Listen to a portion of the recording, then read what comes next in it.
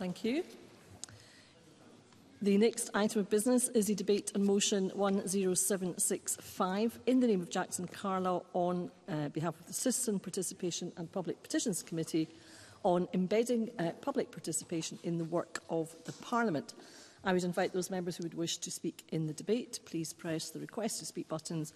I would advise members that there is some time in hand this afternoon, so plenty, plenty of time for lots and lots of interventions.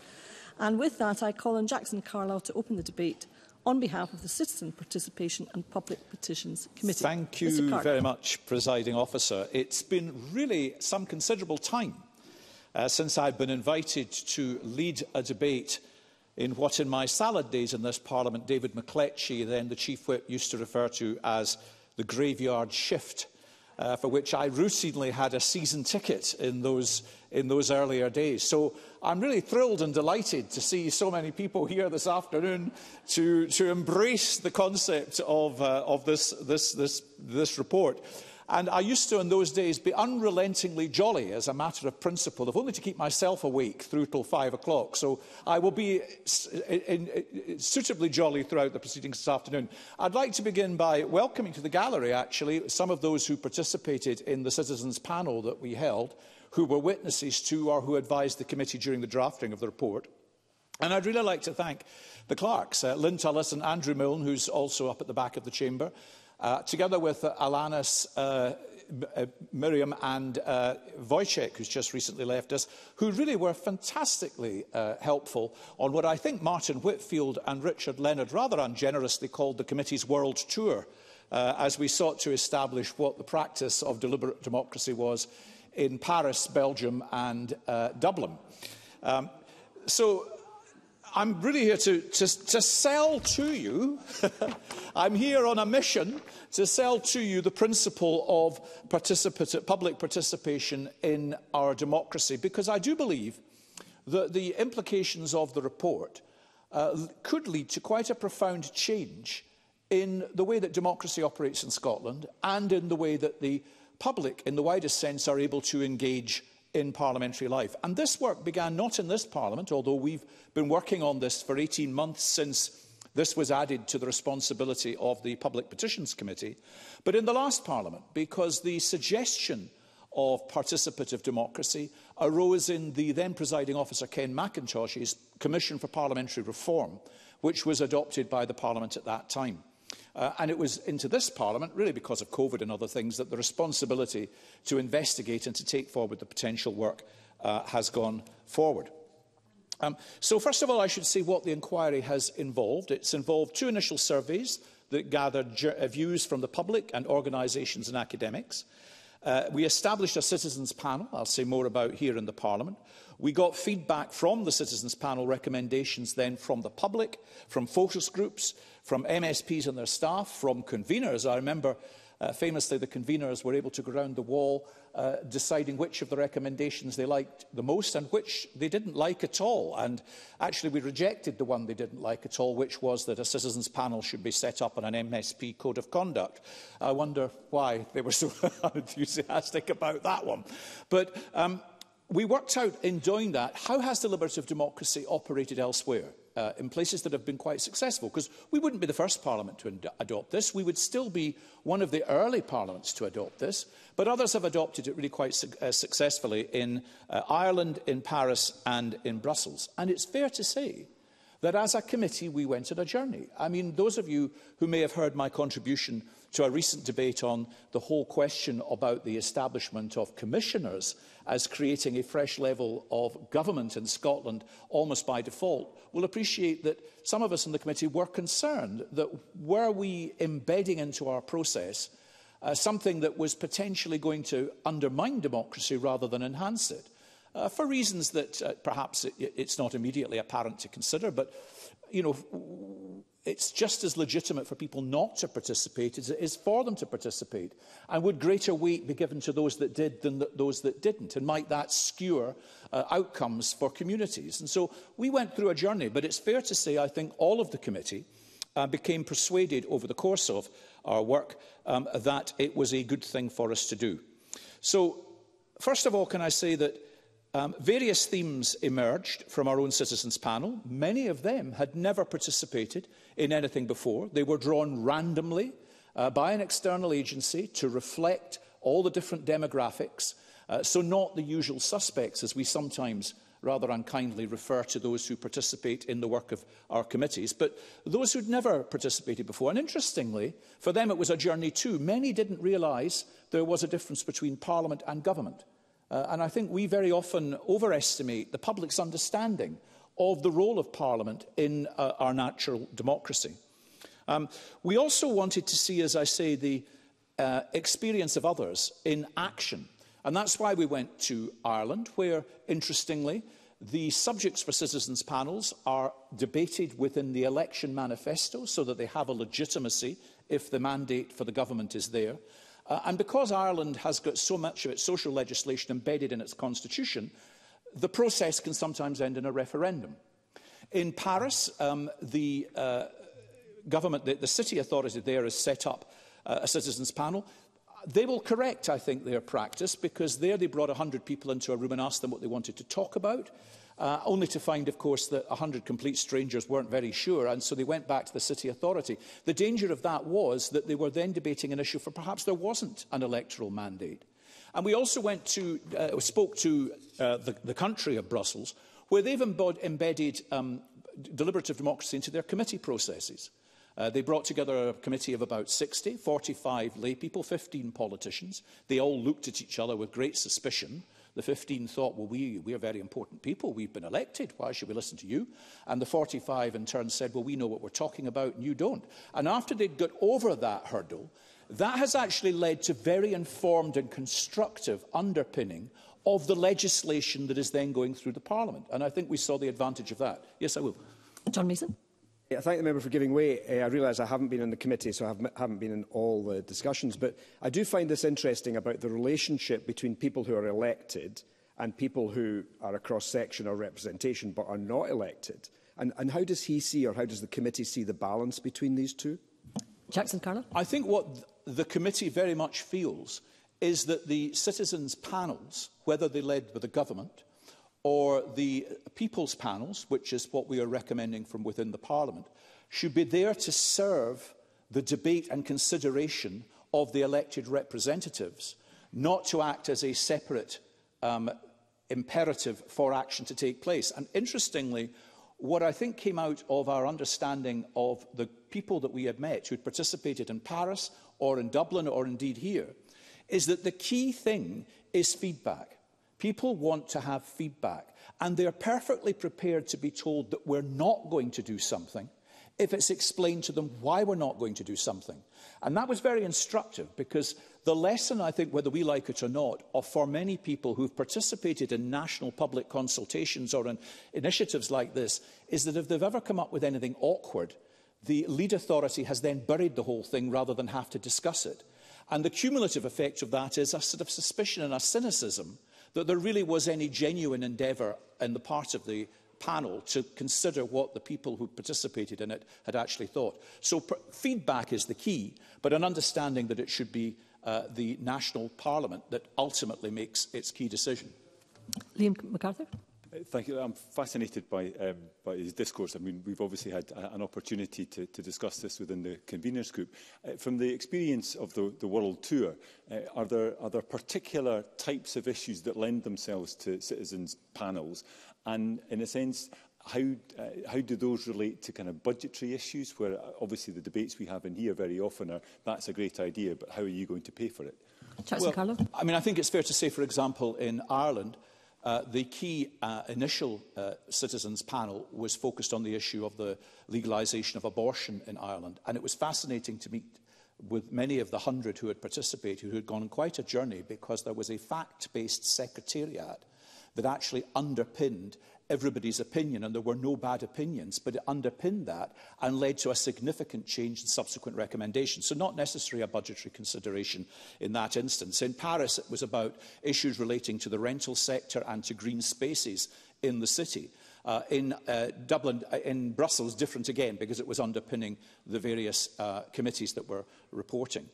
Um, so what we are recommending in here is, well, we've made recommendations to the government. We've had very constructive discussions with, with the minister. Of course, there are budgetary concerns. It can cost a million to two million pounds to host a full citizens panel of maybe 100 people sustained over time. But the report goes on to recommend what can Parliament do. And Parliament, we think, has a role to take forward in extending deliberative democracy. And we are recommending here, uh, within budgets that already exist, pilots to take place in the balance of this session – one on an issue of post-legislative scrutiny and one on an issue of interest that a people's uh, panel of about 20 to 30 people could constructively report and then come back to the lead committee with their evidence uh, to take forward. We wouldn't want to involve politicians in that panel. We'd want to have it, again, randomly drawn from the public. But we believe that that will, through those pilots, give this Parliament a real sense of how this can work And I believe, and I'm convinced, such that we would seek to try and embed that into parliamentary life in the parliaments going forward. There are lots of other issues, but I think I'm out of time, actually. I, I can give you some more time, Mr. Michelle Thompson a, a comment on the post-legislative scrutiny. I mean, it's something that we're still struggling with within the Parliament, and part of that is for good reasons because of the complexity and the, the, the multiple variables where decisions are made about policies where you've got reserved and devolved powers and so on. How much deeper did you look at the type of post-legislative scrutiny that might be appropriate for a citizens' assembly? Jackson Carlo. I don't think we went through all the different issues. What I can say is that the uh, pact team within the Parliament that has been established and which is really very experienced now and very effective, has an anticipation of the Parliament embracing the principle this afternoon, uh, come forward with two suggestions which went to the conveners group who have embraced one of those suggestions as being the subject that a pilot on this issue might take forward, which is to do, uh, I haven't got the actual provision in front of me, but a previous climate change legislation where they think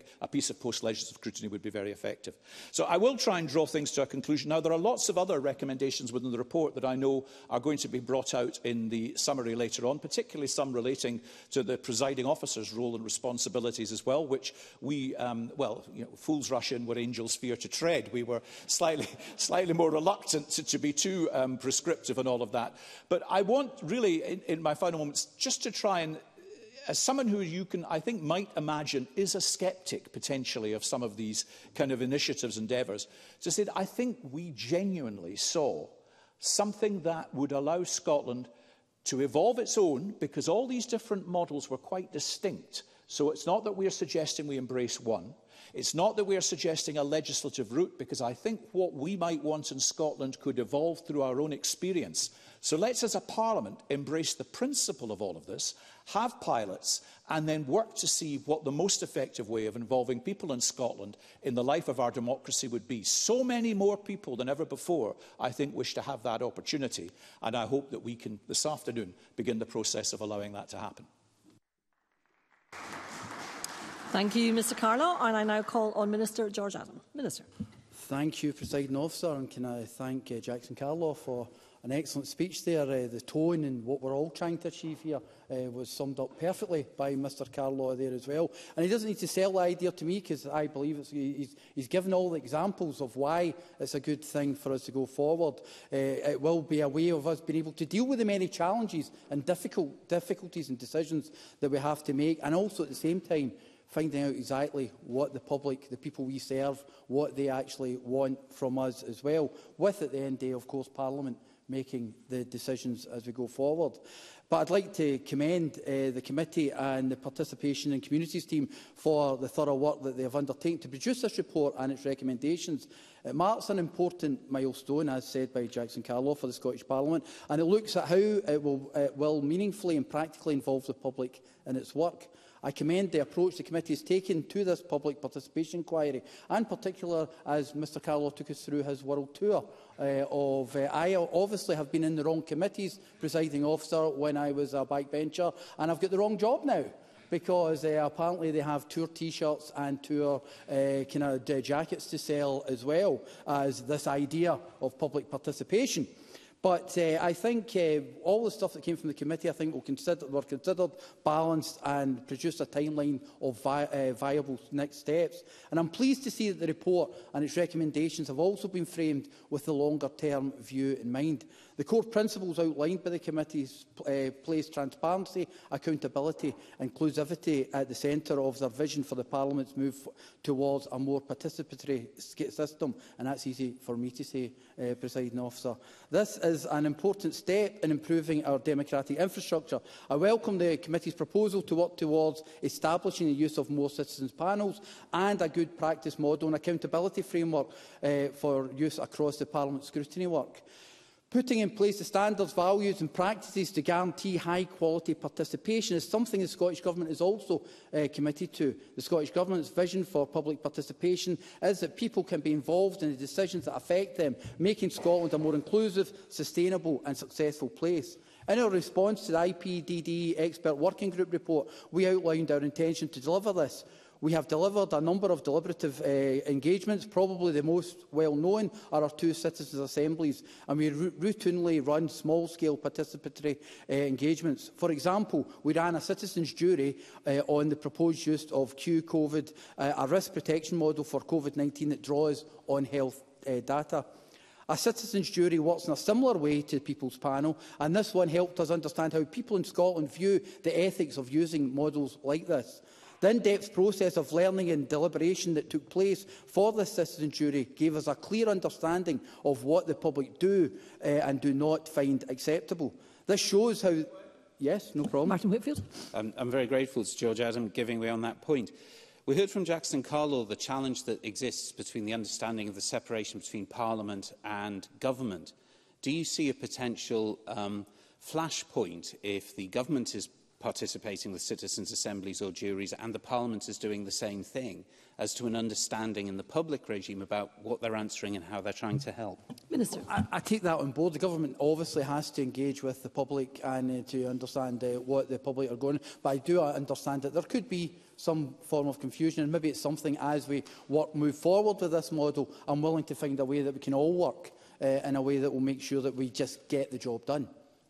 uh, rather than kind of us all doing the same thing at the one time. You know, because in these challenging times with budgetary constraints, it's probably a way to think wiser with uh, everything we've got.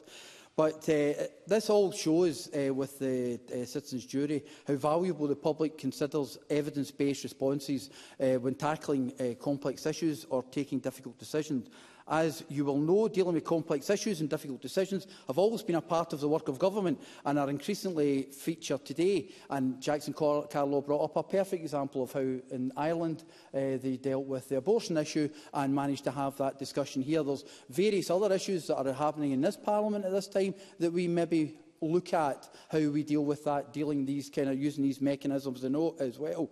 And uh, what will be important to the success of Parliament's work here will be ensuring that those from furthest from government and seldom heard voices are being listened to and that this work is uh, trauma-informed. And one of the things I always bring up with officials myself is the fact that I don't want to see the usual faces turning up. Those of us that have been councillors in the past will have been involved in many of these uh, types of uh, uh, smaller attempts at these uh, uh, engagement with the public, and you'll be aware that in a lot of cases it was the same people all the time.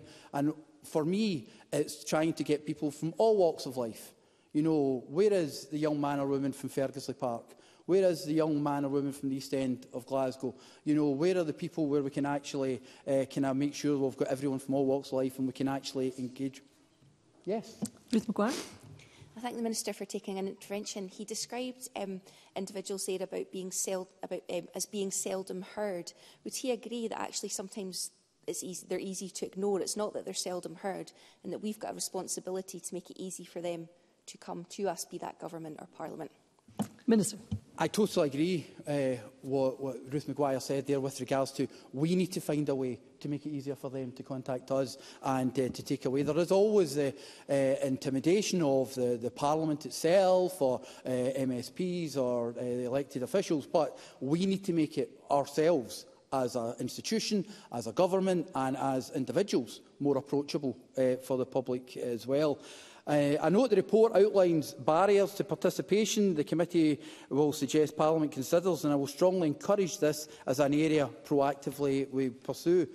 Listening to seldom heard voices is fundamental if we want to ensure that decisions we make are fairer and better meet the needs of the people we serve. From the Scottish Government's experience, it's not just about the big policy issues or about how one method of participation versus another. It's about how we, in all of our roles, are considering who is most affected by the policies and the services that we are designing and finding the best way to ensure that their voices are included from the very beginning. This Yes. Bob Doris. Th thank you. Um, I'm, I'm new to all of this, and I'm really following the debate for the first time in the chamber, and I'm sticking around for it, and very interesting.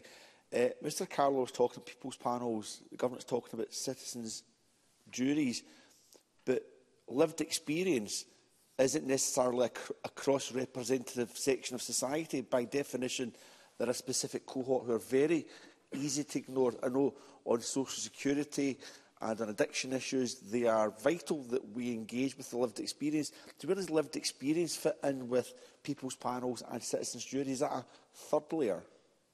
Minister.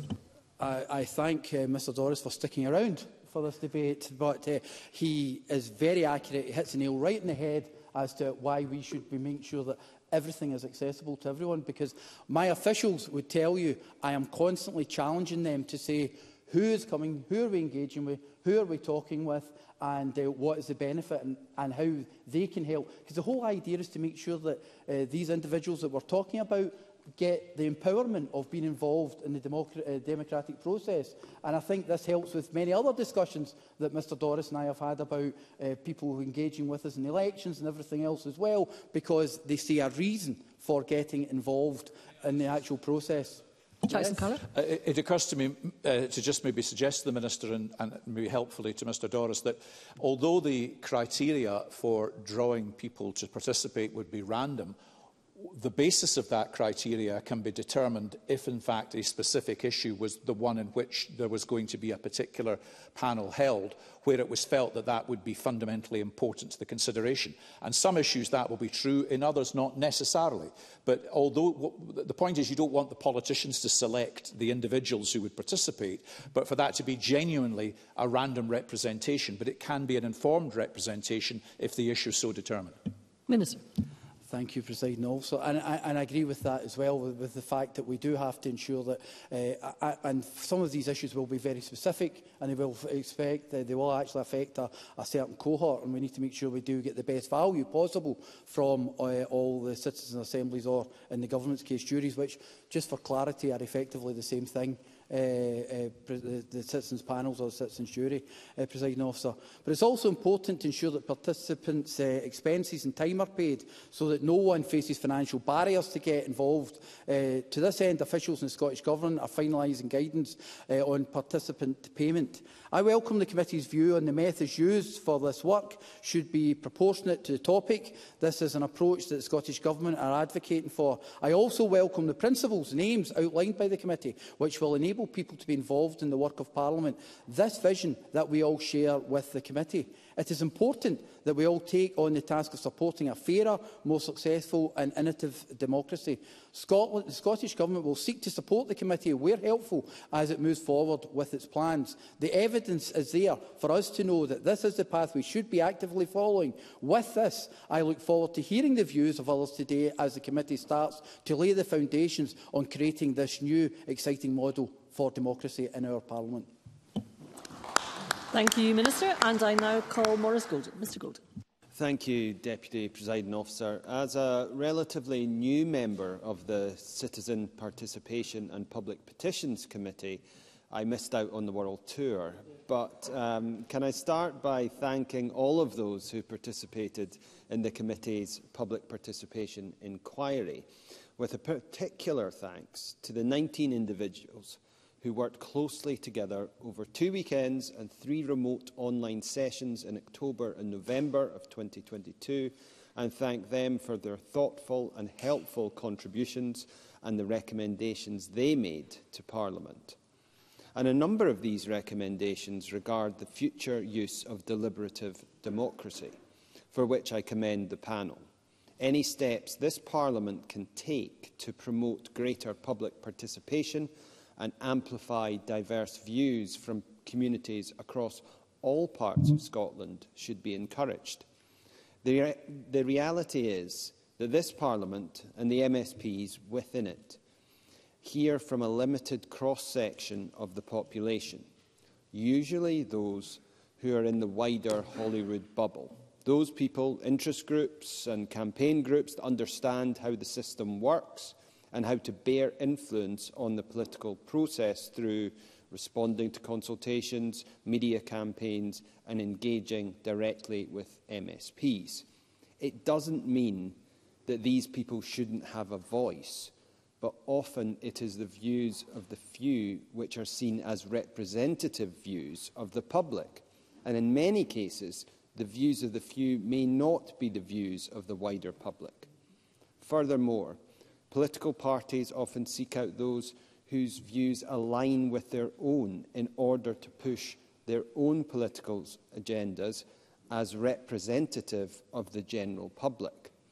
You don't have to look too far back within this Parliament to find examples of recent bills or parts thereof that have been passed into legislation that are completely out of step with the views of the general public or the interests of a particular community. This Parliament needs to hear from those people happy to. John Mason. Uh, sorry, he mentions community there, and I just wonder if he agrees with uh, one of the panel's recommendations or comments that uh, community engagement by MSPs doesn't exclude people that are out with community groups, because sometimes who appear to be community leaders do, also do not actually represent the whole of their community. Morris Golden.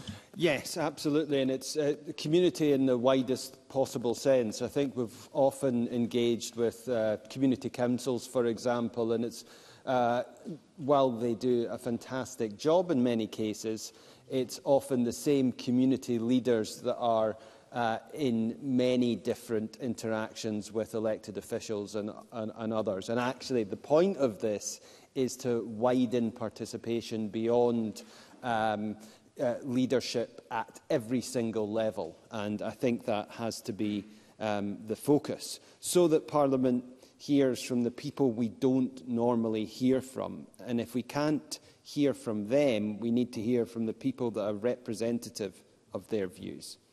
The process and outcomes from establishing the Citizens Panel have warranted the Parliament to take a closer look at the widening use of citizen panels. The committee's recommendation for the Parliament to run two further panels, one on an existing piece of legislation and one on a current topic of interest, should be adopted.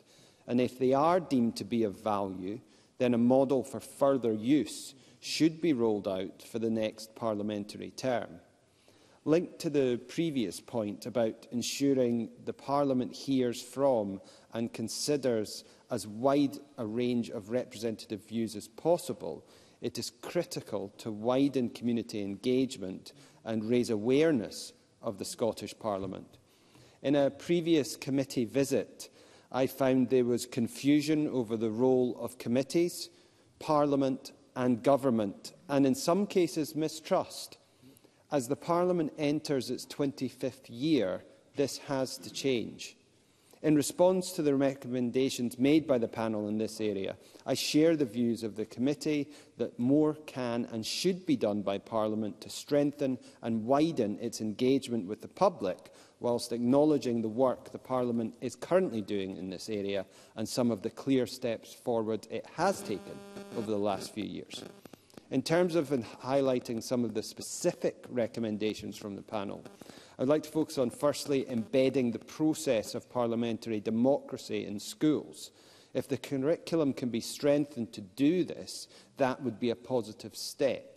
However, this has to be done with a focus on citizens' participation and the role of Parliament and not an attempt to push certain political views. Mm -hmm. Turning to the... Yes, happy to. Martin Whitfield. I'm, I'm very grateful to Maurice Golden giving way on that point. Does he feel that the, the, the um, knowledge and experience that our young people had in the first two or three sessions across Scotland and their interaction with the Parliament is perhaps better than the interactions that have happened now. And I'm not just meaning because of the, the cause of COVID.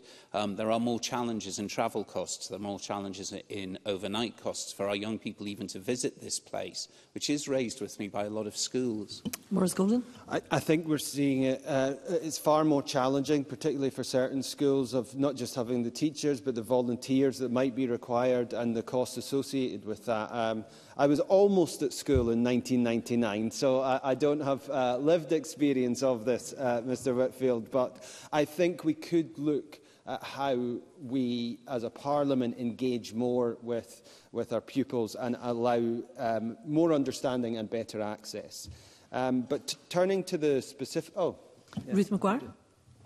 Thank you. I appreciate Maurice Golden taking an intervention. It was the one area of the, of the report that made me raise my eyebrow a little bit because I wondered if children had said that they needed more education on the Parliament. Certainly my experience in going out to schools is that actually often they know how things work a lot better than many um, intelligent adults within my community because they are looking at democracy in the round and how the Parliament works. Morris Golden? And I think that's a fair challenge, but I also think there's there's more we can do in terms of allowing access among our young people. And uh, I know separately we're looking at how we work uh, more closely with the Youth Parliament, for example. But again, back to that uh, leadership point uh, that John Mason raised earlier, we need to be cautious about that being representative of all young people's views. But um, happy. Bob Doris? I thank the member for giving, giving myself getting dragged into this debate now. I feel um, I should declare an interest as a former modern studies teacher. Some of the issues in secondary schools is that in some schools, not in my constituency, I hasten to add, the citizenship is passed to the modern studies department. Now, if curriculum for excellence means anything, citizenship is a whole school endeavour. It certainly is in primary school. It must also be in secondary schools. Else what we do is we focus that on those young people who self-select and take modern studies. It's a whole school endeavour whole community endeavour? Maurice Golden. Uh, certainly, and it's, it's, it's almost the same point that those people that want to be politicians are the first people that we shouldn't allow uh, to become politicians, and, and that kind of self-selecting is, is a general thrust of, I think, of this debate. It's about widening it beyond those that are really interested in modern studies.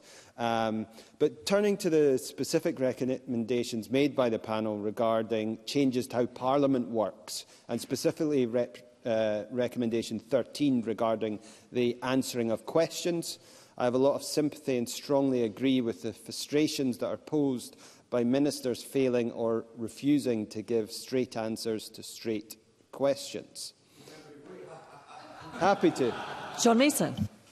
I thank the member for giving way. Is the problem not sometimes with the question as well. It's, it's not a straight question and it's a trap. Morris Golden.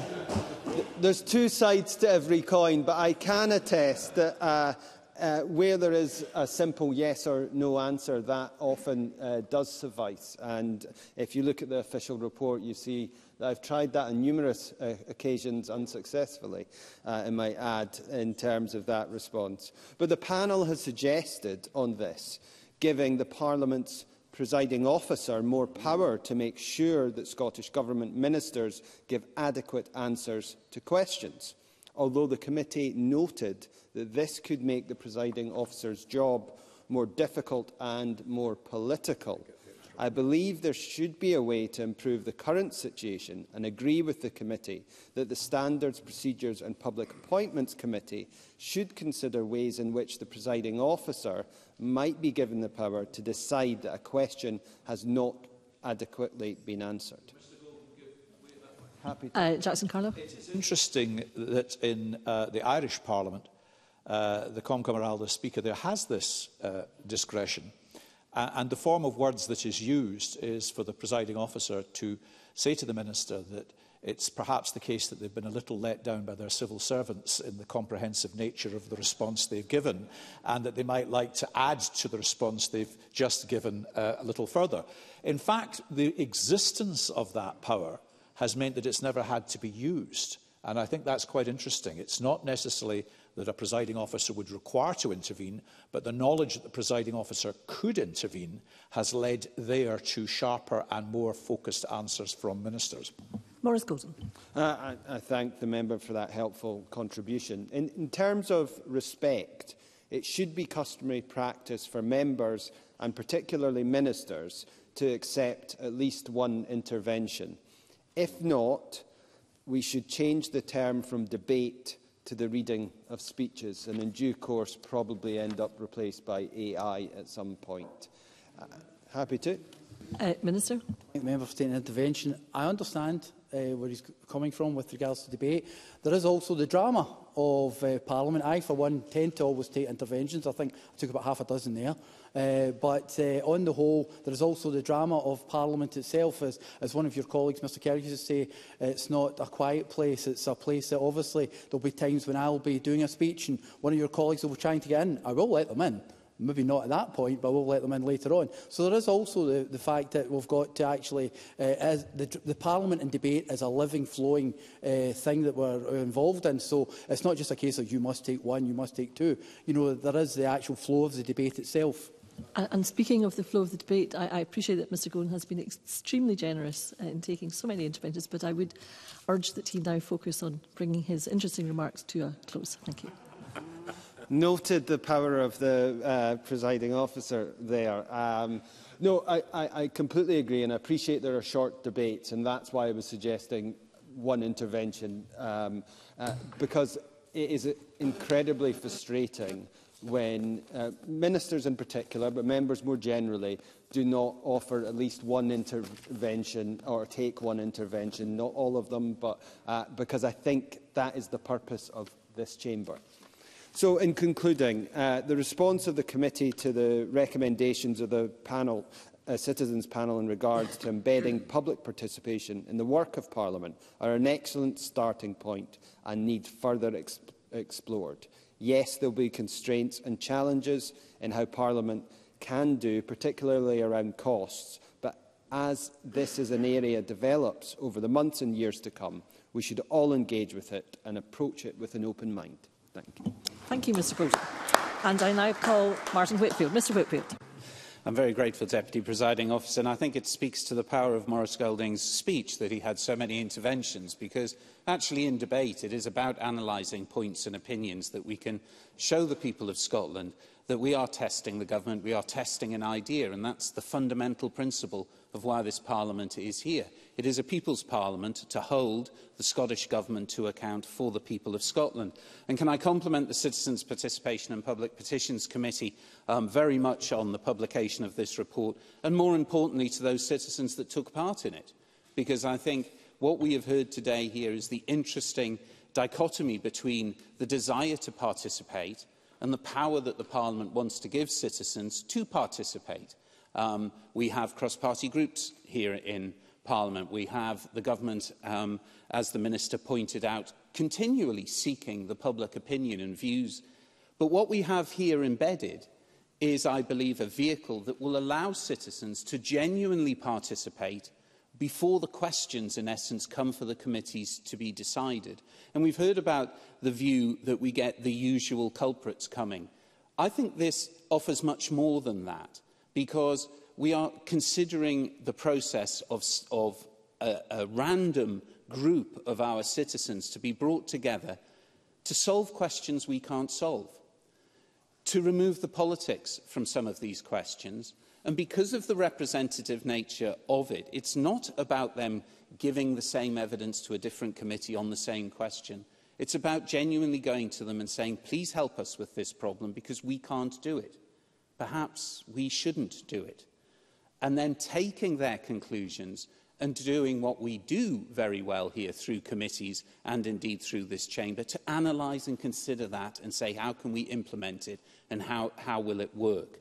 Um, I have to, unfortunately, with the consent of the Deputy Presiding Officer, take off my party political hat one moment to deal with page three of the report, where there are a number of suggestions that are levelled towards um, the committee that I have the privilege to convene. Um, and I can assure in one sense speaking to um, the members across the lower end of this chamber, but actually more importantly speaking to those citizens that took part and raised this. Um, we will be considering it at committee and we will, as Jackson Carlos so rightly pointed out, refer back to you and explain what our decision is and why it is on a number of points. On the second one, with regard to the presiding officer, it, fascinating to first follow Morris Golding on that, and indeed the intervention from Jackson Carlaw about what happens elsewhere.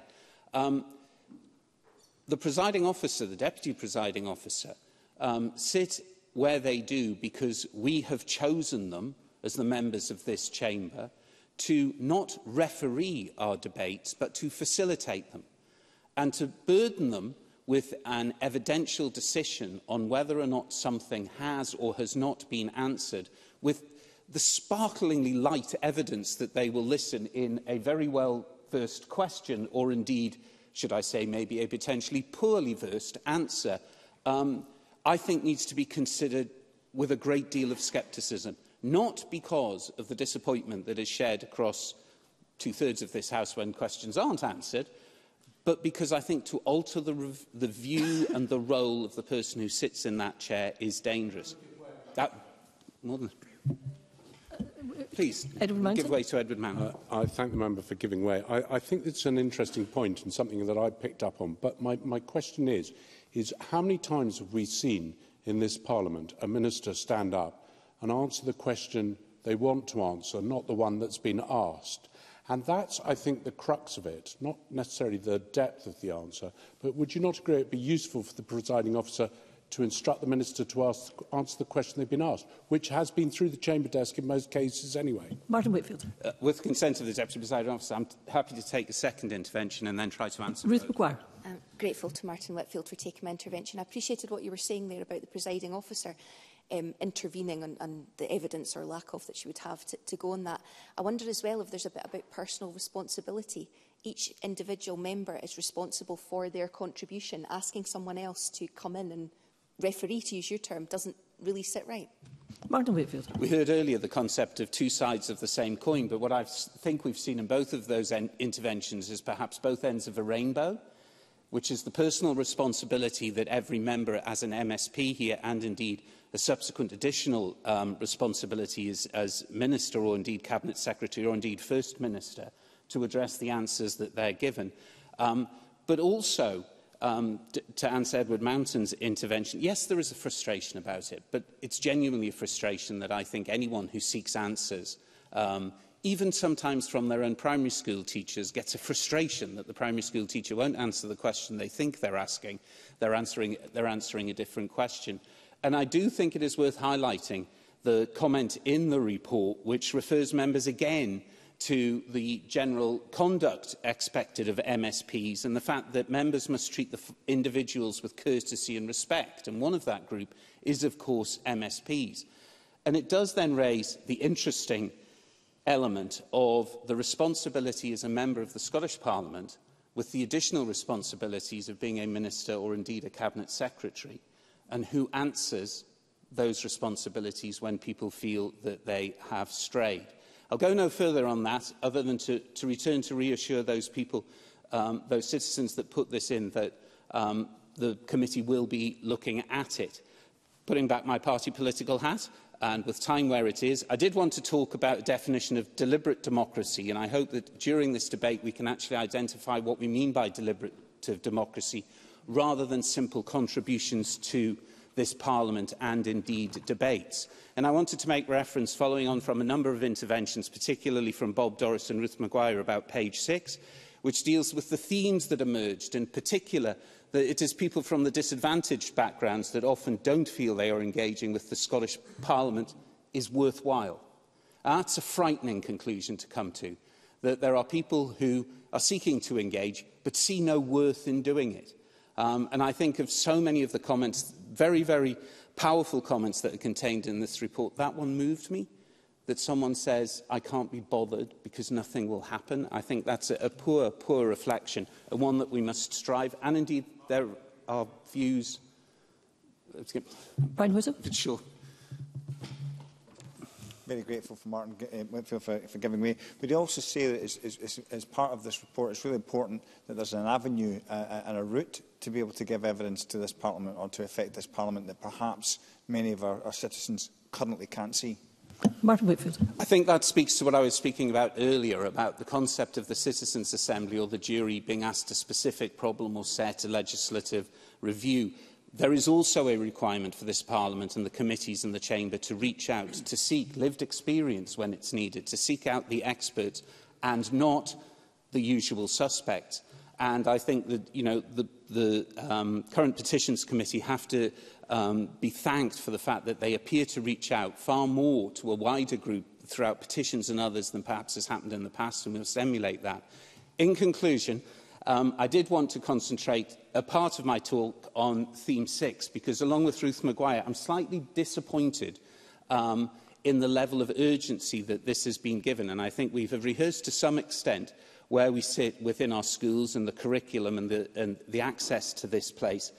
But one of the things that flows from this is whether or not consideration that one of the panels should perhaps be a young person's panel made up of a random section that cross-reflects the experiences when we have the appropriate question to ask them.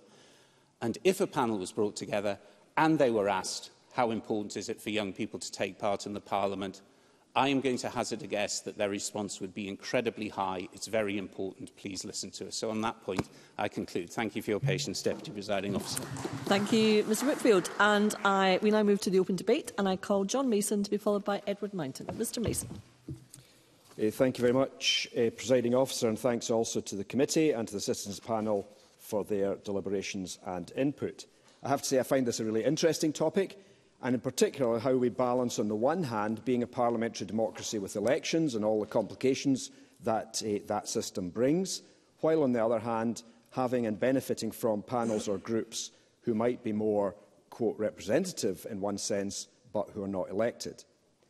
I note the panel's recommendations and also note that the committee disagreed with some of them, and I would like to go through the themes and comment on some of these uh, in the same way that the committee uh, did. First theme is institutionalising deliberative democracy. And I note that the committee did not agree with legislating for this, and I would tend to agree with them on that point. However, other recommendations like number nine, building cross-party support for deliberative democracy, which is still to be defined, eh, is absolutely fine, and we can endorse that. Uh, moving on to theme two, uh, growing community engagement. And in general, the comments of both the panel and the committee are good, and we do need to hear from a wide range of people, including experts on a subject and those with lived experience. But of course, both of these may, eh, are often minorities within society, and the wider public may not have strong views on the issue at all. So I think there will be times and subjects when we as politicians need to focus on important issues, even though, and perhaps because, the public is not engaged. On recommendation five, engagement by MSPs must not exclude people who are out with community groups. And I think this is an important point, as I think we, had, we touched on earlier. Not every community group is representative of its community. For example, I am generally a fan of community councils, which are the most grassroots democratically elected organisations that we have, but some are made up entirely of retired people with no one of working age, let alone young people at all. Thirdly, raising a awareness of Parliament and recommendation three in that regard. And I have to say, I do think good efforts have been made in this, but I accept that that has had mixed success. If, and it, it is the case, I think, always that some people are very satisfied when we do a little for them, either individually or as a Parliament, while others are very dissatisfied however much we do for them. Uh, recommendation 15 I thought was interesting uh, uh, in the idea of highlighting Parliament's successes. Uh, but I have to say that some people do not want this to happen. They do not want Parliament's successes to be highlighted. They want to run Parliament down and emphasise its weaknesses. And I think the media does have a part to play in this. Uh, and it says, uh, one of the word, uh, phrases from the panel is, we should use media outlets. But I think using media outlets is easier said than done. Uh, both the media and, it seems, many of the public are more focused on the dramatic side of Holyrood, and the same happens at Westminster, with people turning up and watching FMQs, whereas the committee work is often less well attended by the public or featured in the media, but is actually more important. Recommendation 16 on a general information campaign is certainly well-meaning, but I do think this is exactly what a lot of Parliament staff have been working on for a number of years, and again with limited success. Theme 5, bringing Parliament to the people, and recommendation 11, uh, the, with the idea of moving the whole Parliament round Scotland, it might be impractical, and I think the committee did not support uh, that recommendation. But I would slightly disagree with the committee on the idea of Parliament days, linked perhaps to committee visits, uh, as happened in the past. I've taken part in a number of these, uh, and I have to say I felt some were very good. For example, one was in Hoyk, And I think that was mainly while Tricia Marrick was the uh, presiding officer. And from memory on that occasion in Hoyk, uh, we had a big reception on the Sunday evening and met many, many people across a uh, section of local society. And then on the Monday, the Finance Committee went on to have its meetings while the presiding officer had a separate programme. So I did think that kind of thing can be worthwhile. And uh, so I would... Uh, I, uh, yes, absolutely. Jason Carlin? I too uh, participated in some of these Parliament days. But apparently, in a lot of the work that was done afterwards to establish what the value of that had been seen to be, it was felt that they had kind of landed done their thing and gone away again, and that there was no actually lasting benefit, and that the types of engagement that we should be seeking to take from the Parliament out into communities should be ones that are designed to leave something that is going to be more of a legacy in terms of that appreciation of the Parliament itself. John Neeson? I think it's possibly both and, because I think uh, sometimes the committees I'm on, and I'm going with the Economy Committee to Aberdeen uh, on a specific issue a week on Monday, um, but on other occasions it's just the fact we're there means a lot to the local community. And I remember a visit we had to Isla looking at isolation, and, and the people there I, I picked up just really appreciated the fact the committee had taken the effort, which they know about more than we do, to go. I mean, I've been on committee visits to Orkney, or Broth, Nairn, Isla, Largs twice, Eh, Hoyk, Pitlochry, Lochaber and more. Um, but I, I would have to say as well, I don't think we should just go to attractive rural locations. Uh, and I believe that the Greater Glasgow area uh, has not been visited so often by Parliament committees. The cost of travelling to Parliament is certainly a challenge for some, as Martin Whitfield uh, was saying, and I'm keen that schools, both from further away and from less well-off areas, uh, should be able to come. Uh, so I do think we need to keep an eye on which schools are visiting and ensure it is not only those that are closer and better off. Theme 7 is strengthening the trust in Parliament and the idea, which we have touched on already, recommendation 13, that compelling government ministers to give answers eh, to all the questions eh, they are presented with is an intriguing concept. I actually think all oral questions are generally answered, but maybe they're not answered in the way that the opposition or the public would want. However, I do think, again, if the presiding officer was to assess all the answers, I think she should also be assessing all the questions for genuineness and not allowing questions which are trick or trap questions. So, like the committee, I agree this is probably not feasible. Recommendation four. Uh, yes, okay. Morris Golden. Uh, does the member agree that any changes to Parliament and its structures and the structures of debate need to be done in the round, so not reflective of the current session, but actually reflective of the future of this Parliament and the future political makeup, whatever that may be. John Moses. Was that a trick question?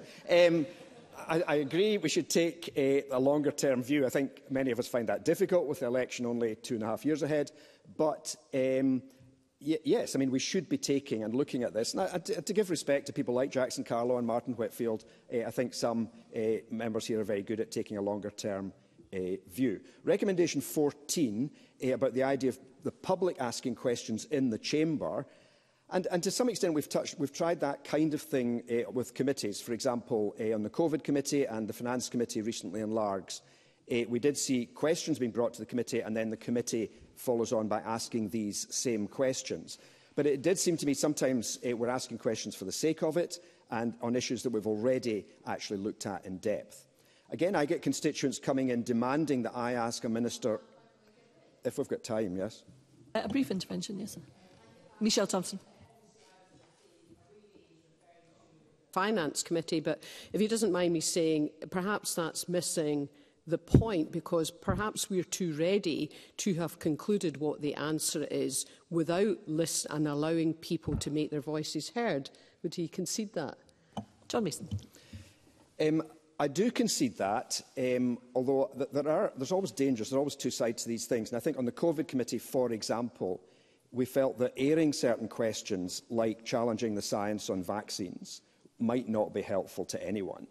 So I, th I think we have to, there has to be a bit of freedom, but um, I accept we're doing slightly different things here between the Chamber uh, and the committees, and the committees have more opportunity to, to engage. As I was going to say, that I get constituents coming in demanding that I ask a minister or the First Minister a whole range of questions, ranging from why their bus was late to why their hospital operation has been postponed. And my usual response is to suggest we take such points up with the bus company or the health board as appropriate. And nine times out of ten, we get, on, uh, we get a better answer going that way. And I realise that some MSPs do raise individual patients' cases in the chamber, but I question whether that is appropriate if they have not already been to the Health Board. So overall, I do commend the panel and committee for the work on this. I absolutely agree that we can improve things we do uh, as a parliament, and I'm particularly keen that we get out and about around the country and engage with the general public where they actually live and work. It's clear to me that it has been appreciated when we travel further from Edinburgh. However, I do think we need to keep an eye on the bigger picture, keeping a balance between those who are democratically elected and involving panels or assemblies selected at random. Scotland is a relatively small country and we should be able to keep things simple. We need to be wary of multiplying commissions, panels and other bodies which make the landscape even more complicated. Holyrood and MSPs are much more accessible than Westminster and MPs and we should aim to build on that strength. Thank you. Thank you, Mr Mason. And I call Edward Mountain to be followed by Ruth McGuire. Mr Mountain. Uh, thank you very much, Presiding Officer. And I'd like to uh, thank the committee for their excellent report. Public participation in this Parliament is absolutely vital. And as you go further away from Edinburgh, where this Parliament sits, you get asked more and more questions. As you go up to the very north of the Highlands, they will know their local MSPs, but they know little about the other MSPs in the Parliament who they feel outnumber their local MSPs, and they feel that, that people who do not have their life experience in remote areas know, know as much as they should do. So Highlanders and Islanders, I think, need this public participation and they need to be confirmed that it is not a bias towards what happens in the central belt when decisions are made. They also need to know how to engage with the Parliament As John Mason has made the point, presiding officer, a lot of constituents come into your office and ask you lots of questions, but they don't know how to engage with the Parliament, how to engage with the committees. Some of them will know how to write to their MSPs, and we're usually the last port of call in, in very difficult circumstances, but they don't know how to engage. For example, on the power lines that are coming from north to south, They don't know which committee to get involved with. They don't know how to do that. And we need to rectify that. Now, when it came to the citizens' participation part of, uh, of this report, I have to admit I was slightly sceptical. Uh, and I pored over the report, and I thought it was actually quite interesting for me to see the recommendations of the committee and those people who'd uh, taken part in, in, in the panels that the committee had set up. And I became swayed by it. And that's why, putting on my hat very briefly as the convener of the Net Zero Energy and Transport uh, Committee, we're delighted to be able to have bid for and I think been accepted by the conveners group to be the first one committee to have a panel to do some post-legislative scrutiny on the Climate Act of uh, two, 2009. And I think it's really important. And I think it will be an important way for the committee to hear what people think about this crucial, crucial subject. Now, taking my hat off then, having made that announcement, which I'm probably get in trouble for somewhere along the line, presiding officer, I, I do think that it's important that when that panel is formed and when they do do this post-legislative scrutiny, it is made clear to them what their remit is and what, how far they can actually go with their recommendations because there's no point asking them to do something and then giving them a story which they can take part in, but then not allow them to fulfill the role they've got. So I think there's a careful balance. And I, I'm minded, and I hear what uh, I think Jackson Carlaw said about MSPs taking part in that panel. But sometimes an MSP there just to say, there is an issue with what your recommendation would allow that report and the, the report back from the panel to know how the MSPs can use it. But I think there's a real need when we're setting up those panels, as was made clear in the report, is to get the right balance of people on it and to make sure that they've got the right experience.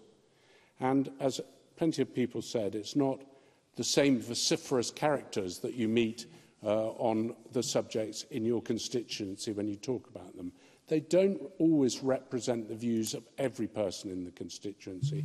And I would like to see those people brought in, the other people brought in. And we need to ensure them, and they need to see the outcomes of the reports that they produce.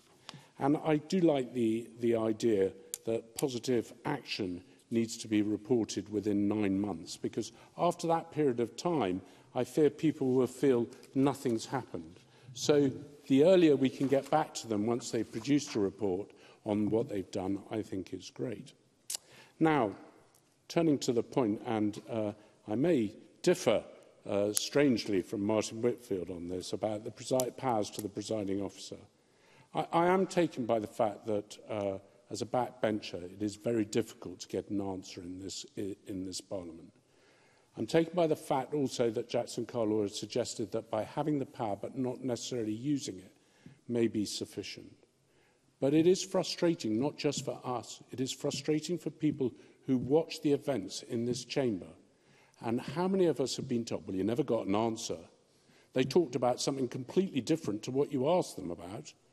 And it's unhelpful, in my mind, because it gives the wrong message about this Parliament. The message this Parliament should be giving is that we're considering every single option and that they're being discounted for good reasons. So I do believe, uh, presiding officer, that the presiding officers should have more power. And I would just say on that also that the presiding officers have made a decision uh, to reduce the length of answers to some questions. That's right, because if you can't get an answer in a minute, You're not going to get an answer in five minutes. Yeah. And that means that backbenchers don't get to ask the questions and people get frustrated that their MSPs that they've elected are not getting the answers. I, yes, I will. Of Keith course, Brown. give way to Mr Brown. Uh, can I thank Edward Mountain for taking intervention? Just to say I completely disagree with him on the point about uh, the presiding officer, arbit being the arbiter of answers, and on the idea of treating different classes of MSPs uh, in terms of whether they're obliged to do an inter uh, take an intervention or not, uh, I, I just think that's wrong. On the issues which I'm more supportive of, though, uh, in relation to some of the public participation, there's a concern over a longer period, maybe 40 years, and across all parties, that MSPs or elected members and governments are much less accountable because so much has been hived off to other bodies, you know, commissions or outsourced and so on as well. So the accountability is not there anymore. Does he think that this might possibly, uh, counterintuitively, contribute to that less of accountability? And just on Jackson Carroll's point, if it's going to cost as much as it is, how does that square with what many of us agree is the proliferation of commissioners within the Parliament? The two things seem to sit at odds with each other. Edward Mountain. Um, uh, thank Mr Brown, for that, for that question. So let's just... Uh, to, I'm not suggesting that we have lots more commissioners. I, I, I actually think we've got probably enough commissioners. As far as the long-term uh, situation in this Parliament and diluting it, no, I don't. Because ultimately, at the end of the day, the decision whether to incorporate what has been decided at those citizens' panels comes down to the MSPs. And the MSPs have to answer to that panel, and they should answer to that panel, why they are not taking an idea forward or why they are taking an idea forward. Um, and I'm sorry I can't sway you on the, the presiding officer.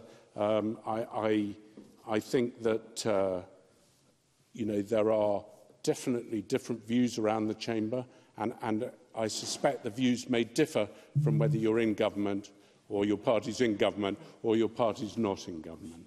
But, presiding officer, just moving on, uh, I think that uh, the, one of the issues was the code of conduct uh, that was mentioned. I absolutely believe that should run with the current committee at the moment. I believe, having sat on that committee, actually being judged by your peers and answerable to your peers on your behaviour, they are much harsher than perhaps anyone else would be.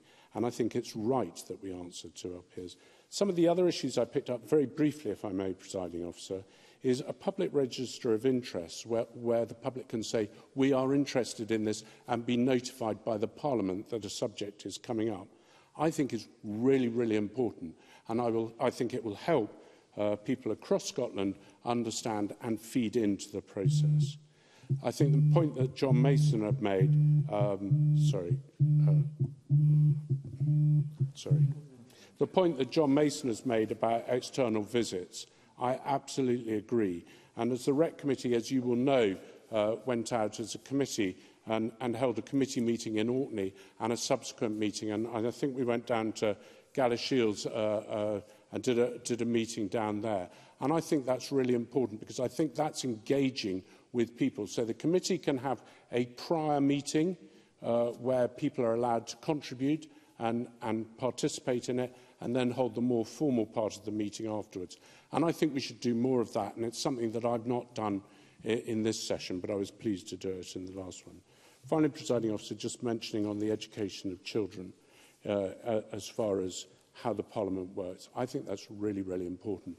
Now, it is very easy for schools in Edinburgh and Glasgow to pop across here to the Parliament and make use of the excellent facilities that we've got.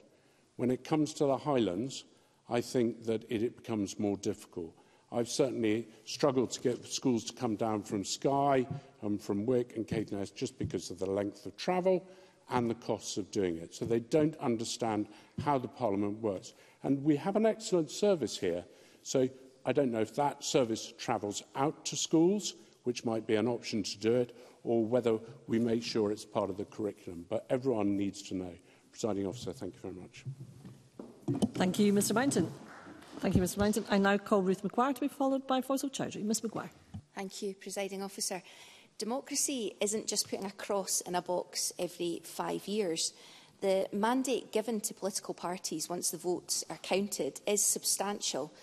but the folk we represent, for them to feel they have trust in our institution and a stake in the decisions that we take, election campaigns and polling day should not be the end of our interactions with citizens on policy. And with all due respect, politicians and civil servants certainly do not have the monopoly on wisdom. And despite some real effort, we can't claim to be an especially diverse bunch reflective of our nation, particularly in terms of class and race. The ideas and policies put in manifestos, as good or bad as they may be, wherever or whoever they're coming from, always need a lot of further work within Parliament. They need input from and dialogue with a wide range of people and organisations to realise their good intentions and improve things for all the citizens that we serve. And no matter how much we might wish it, legislation and guidance that we pass in here are not always in themselves enough to make the changes that we wish to see. We have to understand better how and where the laws we've passed have made a difference or not Have there been any unintended consequences or are there gaps that need to be addressed? Public participation in post-legislative scrutiny would be incredibly valuable in this regard.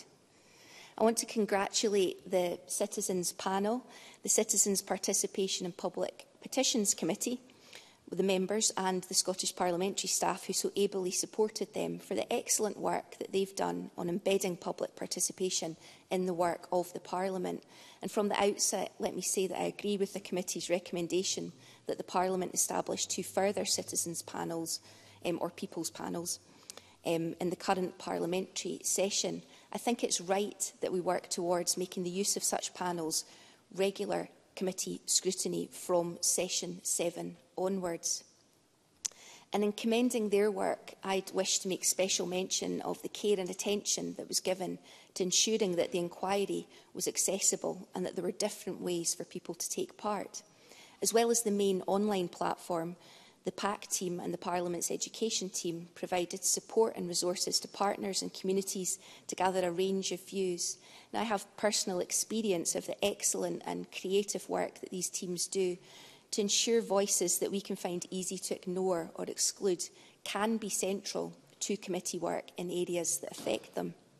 In this instance, that work meant that the committee received additional contributions from people with learning, learning difficulties and autism via two discussions with the Learning Disabilities Assembly, the views of young people in collaboration with Young Scot and the Scottish Youth Parliament, and the views of school pupils in Lochgelly, Galashiels and Glasgow.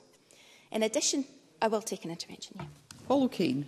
I'm very I'm very grateful to Ruth Maguire for taking an intervention. Just on that point, which I think is a really important point about accessibility, would you agree that also our materials that we provide as a Parliament, particularly in terms of education and helping people to understand what we do in this place, have to be accessible, including easy read formats that would be recognised by people who have a learning disability? Ruth McGuire. Very much so. I absolutely agree with that. I don't think that anything should be coming out of our Parliament that isn't in those formats. It's, it's not acceptable. Um, in addition, um, people were able to write or email the committee in the usual way, which provided three additional submissions from Bord na Gaelic, the Scottish Election Study Team and Media Education. Um, Committee members, I'm sure, will talk more to the process, so if I could maybe just share some reflections on the themes. Theme two was growing community engagement. And the committee's report acknowledges that the traditional model of parliamentary scrutiny can tend to prioritise those who already have an understanding of how the parliament works and the resources to engage with its structures. I very much agree with them that this needs addressed. Again, um, I've witnessed just how beneficial it is to hear from a wider range of people, particularly those directly impacted, in making sure and when we do that, we make sure that we um, understand and look at things in the round. Now, I do really valuable the contributions. I do really value the contributions made to scrutiny by everyone who gives evidence and assists in committee work, and I am not criticising anyone here. But there's undoubtedly a tension sometimes, where organisations or individuals giving evidence have been in campaign mode, either for or against the particular law that's being looked at, or maybe they're involved in delivering the changes that the law will bring about and don't wish to seem unhelpful or resistant to the overarching policy aim of the law being examined. I think that widening our scrutiny can only help in our collective understanding of issues and a way through them. I think we can all be inclined to being a bit um, binary and simple. You're either for us or against us. There's goodies or baddies. You pick your team. But we all know the world's not like that, and the complex issues that we're often seeking to address are not best solved with that approach. Properly engaging with the communities that we serve reminds us of their diversity and richness of not just characteristics, but also of opinion and that will help us find a way through any of the challenges that we face. Um, like Edward Mountain noted, I, I like the idea of letting people register their interest in partic particular topics. I think that's really helpful. Most folk do not have time to um, be responding to individual con consultations, I'm looking at the presiding officers telling me to close. I had a lot more to say. It's been a really interesting debate. It's an excellent piece of work. I thank everyone who contributed, particularly the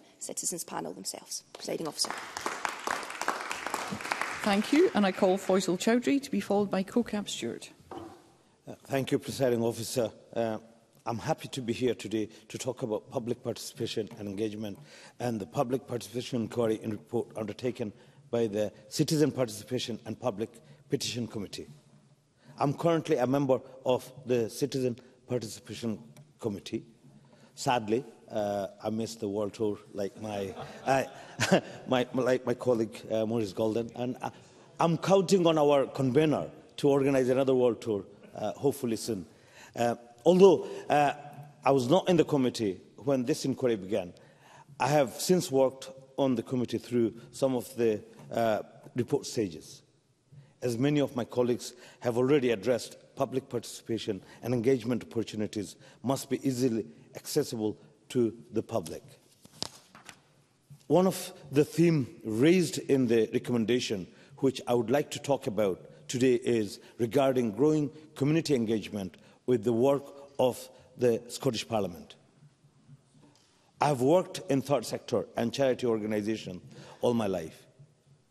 Through this, I have engaged with many different communities and organizations, and I have been saddened by what I've heard in the past about certain communities' engagement with the parliament and democracy in general. From some people originating from more disadvantaged background, I hear that they believe politics and participation was not meant for them. From some young people, I heard that they believed their opinion or participation was not wanted. These barriers, as the inquiry report recommends, must be removed to encourage everyone to participate in democracy and engage with the parliamentary process. Many of these organizations that I have been involved with are run by or created to black and ethnic minority communities. Over the years, I was disheartened to hear that many from these communities have never thought to engage with public participation within the parliament and even more did not even know that it was an option to do so.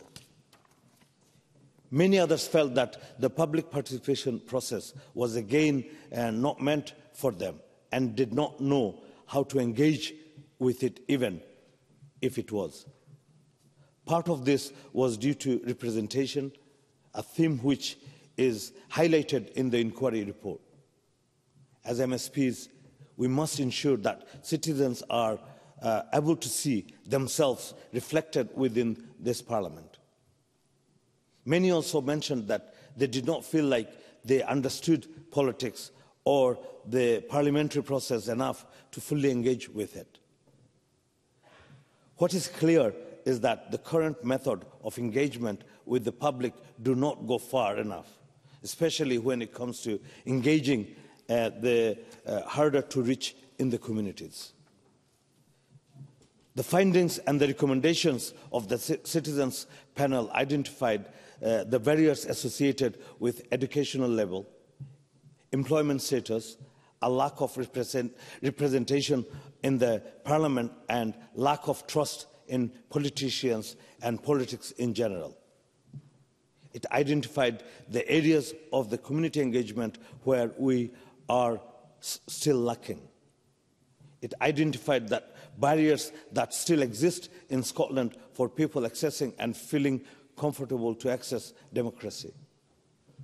This includes travel expenses to go to the parliament, time of work, Uh, time off from work if they work 9 to 5, childcare cost, and difficulty with accessibility requirements.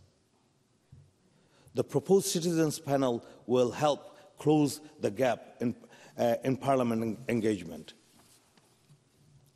We must ensure that people believe that they have a role to play in parliament, that their, their voice are heard and that they understand the means by which they can engage and participate. The purpose, uh, many citizen assemblies will be instrumental in doing this. However, in our role as MSPs, we can work to overcome these barriers that many uh, of public face.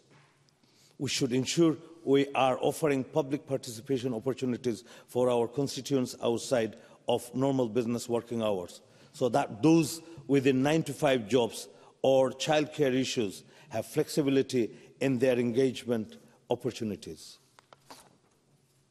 We can hold particip participation opportunities in different locations so that all accessibility requirements can be met. Presiding officer, that is how we can work alongside the recommendations of the inquiry to improve community engagement with the Parliament. Thank you. Thank you. And I call Co-Cab Stewart to be followed by Michelle Thompson. Uh, thank you, Presiding Officer. Um, I've just been absolutely fascinated uh, by this debate so far.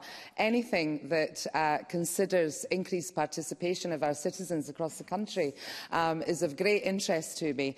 Um, I have had a little bit of the fear of missing out of the world tours and the day trips and everything, um, but I've taken on the challenge of Maurice Golden to not have a speech um, and actually just share my reflections and thoughts and some experiences uh, from uh, the committee.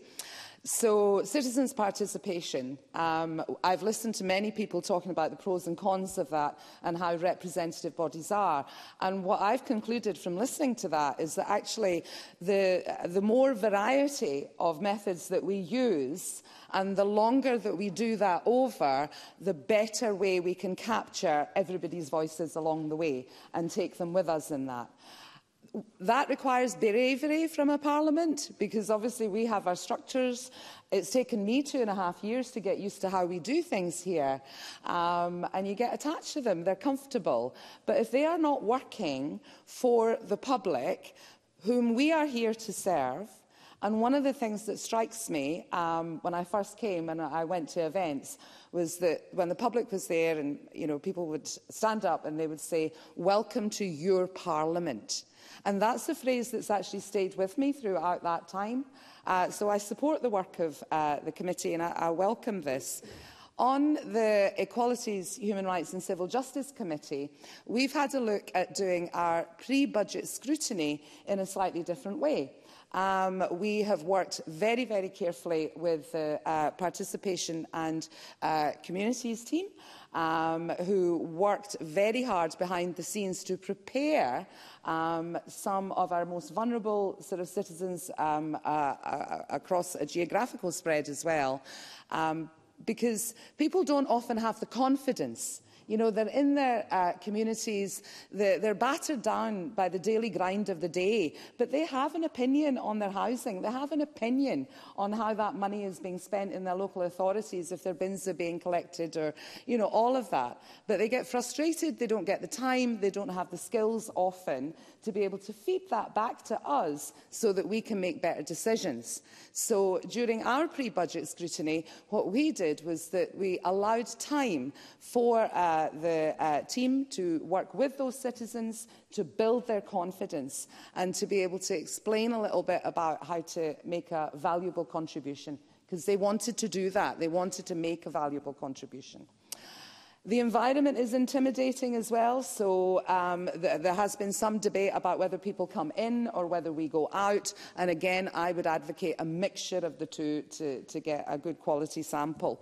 So when they came in, um, we also did some cross-party work. So my colleague Colette Stevenson, the convener of the Justice Committee, she came and joined that.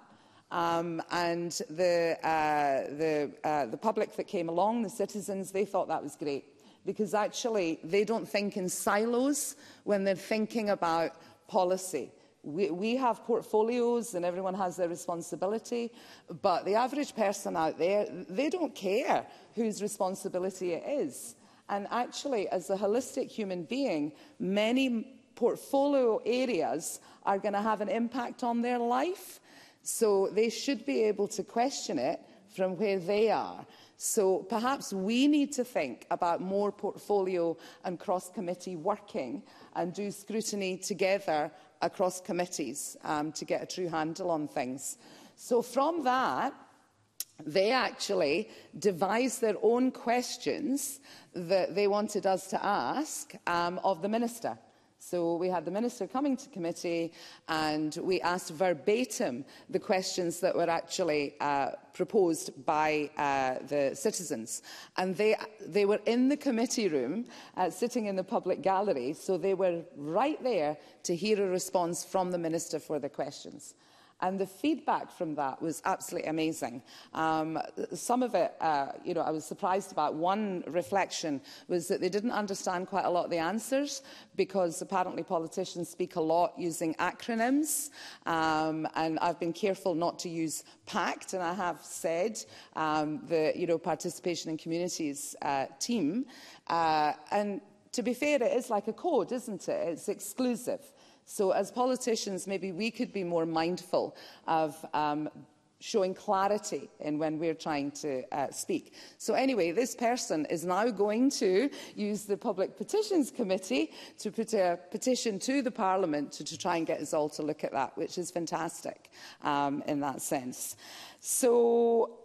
yeah, I suppose in summary, what I'm trying to say is that um, on, on our Equalities Committee, Um, we are leading the way. You always get early adopters for certain things, and um, I've shared a bit of the experience with you. Um, the citizens have felt really empowered. Their feedback was excellent. They thought that the Parliament as a whole had taken care of them, had listened to them. They felt very connected. They didn't realise that they could see us and speak to us and hear their questions being directly put and answered. So we can all take heart that whilst there is work to be done, There is an amazing amount of uh, good practice that's going on. And with this report, there is the goodwill to carry that even further. Thank you, Presiding Officer. Thank you. And I call Michelle Thompson, the final speaker in the open debate. Thank you, Presiding Officer. And uh, as members will know, I often refer to academic sources when researching for speeches. Thanks to Carnegie, I now know that, and I quote, The principles of deliberation and sortition are not new. Rooted in ancient Athenian democracy, they were used throughout various points of history until around two to three centuries ago. Evoked by the Greek statesman Pericles in 431 BC, the ideas that ordinary citizens, though occupied with the pursuits of industry, are still fair judges of public matters, and that instead of being a stumbling block in a way of action, discussion is an indispensable preliminary to any wise action at all. So this isn't a new idea. I read the report with great interest and extend, like others, my congratulations to the authors, participants, the participation communities, team advisers and the committee themselves. I've also said since becoming an MSP that we need to make this place sing with a thousand different voices, both literally and metaphorically, On that note, and the side, the start-up of the Scottish Parliament Choir next Wednesday, the 1st of November at 1pm in Committee Room 2, don't miss it, goes some way. But seriously, the extension to the people who really count, our citizens, is extremely important. Let us hear them all sing. I'll make just a few comments that struck me.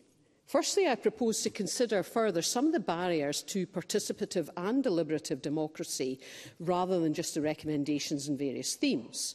Three barriers resonated with me in particular, that of fear, representation and trust. I believe we all in here consistently undermine the fear of speaking up in public despite us claiming, perhaps in a self-congratulatory way, that we're all Jack Tamson's bairns, the fact is, from the outside looking in, we're not. The way we speak, the strange mannerisms and conventions appear inaccessible for many. Many of us here are well educated, but how often do we stop to con consciously consider how our accents sound to ordinary Scots? And I remember just recently being reminded by Darren McGarvey of the great work he's done to drive out understanding of the impact of a working class Glasgow accent in the series Class Wars. And I spoke only the other day to my colleague Emma Harper about the frankly bullying she receives via social media for her sterling efforts to promote our language, Scots. For women, taught subliminally to take their place, often behind, and after the men have spoken, it must represent a particular challenge. And I note that even in this debate, only 16% of the attendees are women.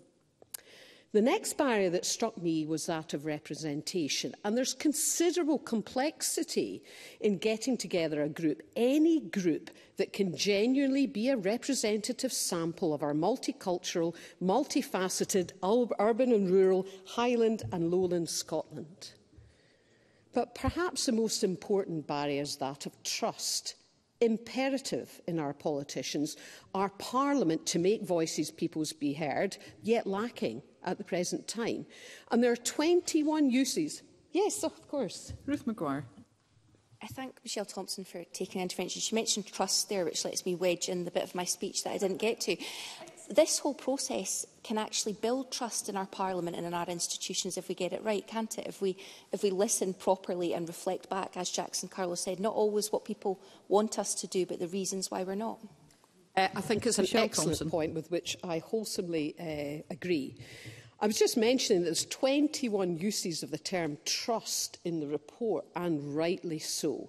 We have to acknowledge how many people have lost trust in politicians in the political process and, by extension, their legislators.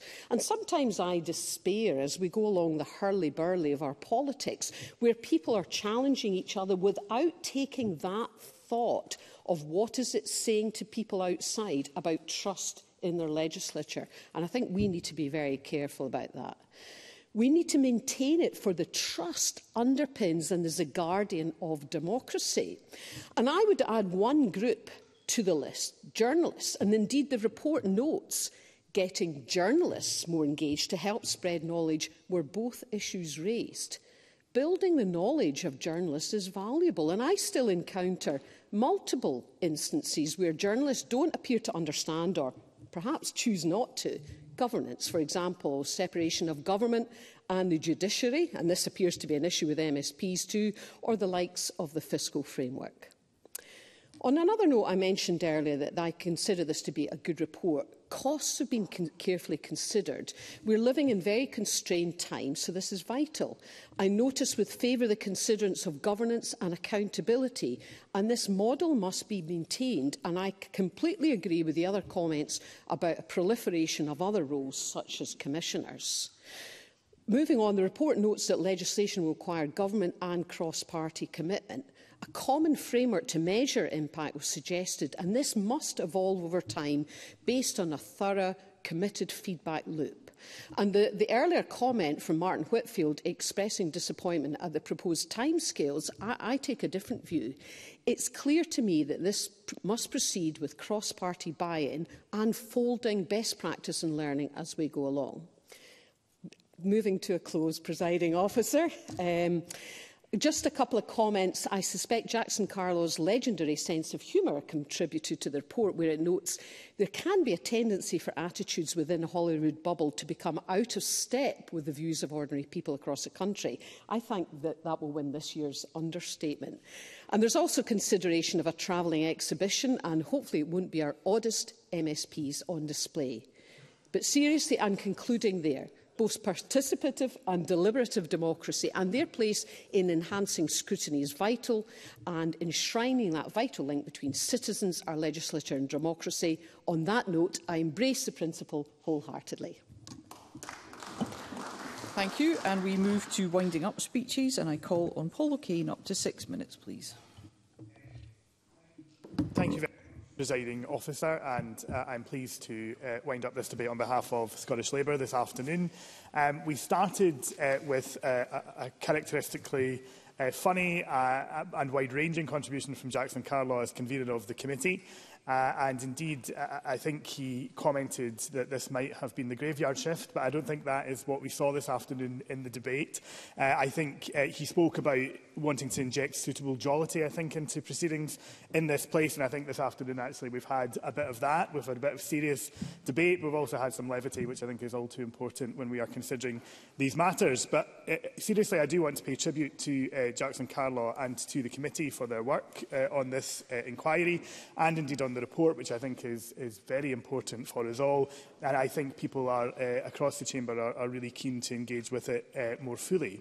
Uh, also, of course, we should thank uh, all of the, the committee clerks, the staff, uh, and those who uh, were involved in the public participation elements of the work, um, who I know are, are in the gallery today. Um, We, we on this side of the chamber do welcome the recommendations that seek to improve both the scrutiny of Parliament and Government and the engagement and trust of the public in parliamentary processes. Uh, we uh, welcome the report's acknowledgement of the fact that Parliament's current methods of engagement with the wider public do not always go far enough, especially when it comes to engaging with harder to reach uh, people uh, in our communities. And I think there is more that should be done uh, to engage with and listen to citizens from across Scotland uh, and to ensure that um, we don't put off that work and we seek to do as much as we can in the remaining years of this session and then look forward into future sessions about how we can really uh, move this work forward in a real uh, fulsome way. Um, I, I, I was really taken by uh, many of the international examples that were cited uh, in the committee's work, and I'll declare an interest as a, uh, a dual citizen, someone who holds Irish citizenship, although not living on the island of Ireland. I don't expect to be asked to join a citizens panel there anytime soon, and I think it was Maurice Golden who said that politicians are the people who should absolutely be furthest away from that sort of work anyway, and I think, I think there is truth in that, certainly. But, you know, I, I think it's particularly interesting the work that's been done in Ireland, um, particularly on issues that I think often have been difficult in the public discourse, um, issues which have led to wide social change or, or indeed constitutional change in Ireland, um, have widely since about 2010 been um, reflected, uh, debated and decided upon uh, in terms of how to proceed by, by citizens' uh, assemblies. Um, you know, issues like abortion, like equal marriage, like changes to the voting age or reform of Doyle Erin in the Irish Parliament, uh, all of those issues have been de debated and discussed and, and, and proposals then brought forward to the Oireachtas uh, eh, eh, in that regard. Certainly, Jackson Carlo. Kane touches on that point. One senior Irish politician paid a backhanded compliment, actually, to the principle of citizens' panels, because he said to me, Jackson, what this is, is a method for gutless politicians to be excused the difficult decisions and to palm them off to somebody else. But actually, on some of the big social change issues, that's, as, as I say, actually a backhanded compliment because it means that the change is underpinned by citizen involvement, which then gives politicians the confidence to move forward. Paul O'Kane. I, I mean, absolutely, I think it could certainly be viewed in that regard and perhaps an easy way out for all of us sitting in this chamber when grappling with some of those issues. Um, but, but I think it is right that actually we want to underpin these decisions, not just with uh, social attitude surveys or polling, but actually with, with a structure that can actually say the Parliament has taken time to engage and to listen uh, uh and to find that. And actually, uh, in Ruth Maguire's contribution, uh, I, I found that uh, kind of chiming with um, talking about some of the really Uh, perhaps contentious issues very often that we've debated in this place where um, there have been competing interests from um, third sector organisations or lobbyists or various groups in society that often become about uh, we are right, you're wrong, there is no middle ground, there is no uh, concession. Y yes, just, just in a moment, I'll just finish this point, th there are no concessions to be made when actually if we had uh, a better per participation restructure, we actually could look at the things in more detail. I give way to the Minister. Minister thank Mr O'Kane for taking my intervention. Uh, basically, it's important, I agree with much of what he's been saying there, but uh, it's also important, I think, from my experience as a minister looking at the first two citizen assemblies that we did in the Scottish Parliament, the question we ask is equally important. There's not to be any confusion as to the public as to how they, uh, they deliberate and come back to that. Does he agree with me that the questions that we ask does give the value that the public will see and has actually been able to deliver something? Paul O'Kane. Yeah, I certainly don't think that um, you know we, we should rely on other people. I mean, it's about us saying as a parliament, this is the, the direction, this is the vision. it for the government also to propose their direction and vision, and for that to then be scrutinised, if you like, and underpinned, as I said in response to Jackson Carlaw, not not solely for us to be uh, led or instructed by, by those groups, but to do it hand in hand, so that actually it's a scrutiny of what is already taking place uh, within this chamber. Um, I, I think we've seen a, a lot of recommendations discussed this afternoon which have uh, much merit. Uh, interesting exchanges, I think, in terms of how do we bring people closer to this Parliament as well, particularly those from rural communities, as outlined by Edward Mountain, uh, young people, um, people from um, ethnic minority backgrounds, as outlined by Faisal Chowdhury, Kokab Stewart and others. Um, looking at how um, we ensure that things don't become tokenistic. I think John Mason made some contributions in that regard, that actually questions are made meaningful and participation is, um, you know, is about not just saying we're going to ask questions on your behalf, but actually help us to shape our understanding of those questions and, and the sorts of responses we can have. Interesting uh, contributions uh, on the role of the presiding officer in, of course, the absence of the presiding officer, around uh, the, the judgment of uh, the quality of questions and answers. As someone who often falls foul of um, uh, verbose and long questions, uh, I might avoid any co uh, comment on the quality of my contributions uh, being judged. But I do think that there is merit in having a fuller discussion and debate around that. And I'm glad to hear Martin Whitfield and his contribution speak about uh, how his committee may look at that. Presiding officer, uh, having just made a comment about time, I'm going to wind up. Um, Edwin Morgan, in his poem for the opening of this building, opening the, Open the Door, said, we give you our consent to govern, don't pocket it and ride away. And I think actually that gets to the essence of what we're seeking to do through this report and through this work. Um, it may take time to get there, but I think this debate today and the report and the recommendations are an important first step, uh, and we should all work together to move them forward. Thank you. Thank you. And I call on Alexander Stewart. Up to six minutes, please. Thank you, Presiding Officer. I am delighted to be winding up for my party on what has been an excellent uh, debate this afternoon. And I say there has been really good interaction across this chamber, uh, and that is to be very welcome. The public participation inquiry was one of the key pieces of work I was able to contribute to in my time as a member of the Citizens Participation and Public Petitions Committee. And I got the opportunity to go on the world tour. This Parliament has long strived to be a place that is welcoming and open to public participation. As such, it was and is to be welcomed that the citizens' participation was added to the remit of the committee at the beginning of the current parliamentary session. Uh, the public partition inquiry has followed a number of different avenues since the launch early last year. We have heard about some of the engagement work in today's debate. However, the most important aspect of the inquiry has been the Citizens Panel on participation. I was pleased uh, that through the panel the committee was able to deliver not only some hugely positive and productive uh, helpful recommendation but also uh, an experience which deeply engaged in those who were involved in the process presiding officer.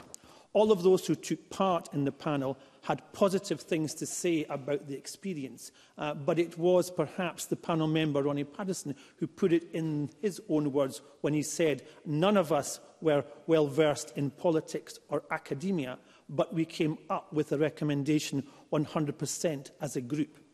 The fact that we came up with those and these recommendations together shows the power of deliberative democracy. Now, that is excellent feedback, uh, presiding officer, uh, for a group of individuals who were brought together to represent uh, us uh, and to have their views and opinions expressed. And they got the opportunity to do that. Uh, and I think that really showed the success that we had. And while the panel itself was a success, the committee then carried out further engagement uh, to see what we could add to the report. So earlier this year, as many have indicated, uh, a number of us had the opportunity to go to Dublin and to go to Paris uh, and to see and experience and hear firsthand how they had gone about that. Uh, it was two years ago this month that Paris City Council voted to establish its own Citizens' Assembly, uh, which was itself formed by drawing on uh, uh, experiences of international practices. This Assembly continues to find its feet and delivers its first recommendations. I'm grateful uh, to the participants and elected officials who provided us uh, and my colleagues with very helpful insights as we went to see these locations uh, uh, in other parts of, uh, of Europe. And I thank my, the committee, uh, the clerks, Spice and everyone who supported us uh, to ensure that that happened uh, because they had to do a huge amount of work to ensure that the timescale and the information that we had uh, and was beneficial for us all. Now, uh, this afternoon we've had some excellent contributions, uh, uh, presiding officer, uh, and I see, I think it shows the, the calibre of debates that we can have in this chamber when we have a topic like this where people do have the opportunity to express, interact and become involved.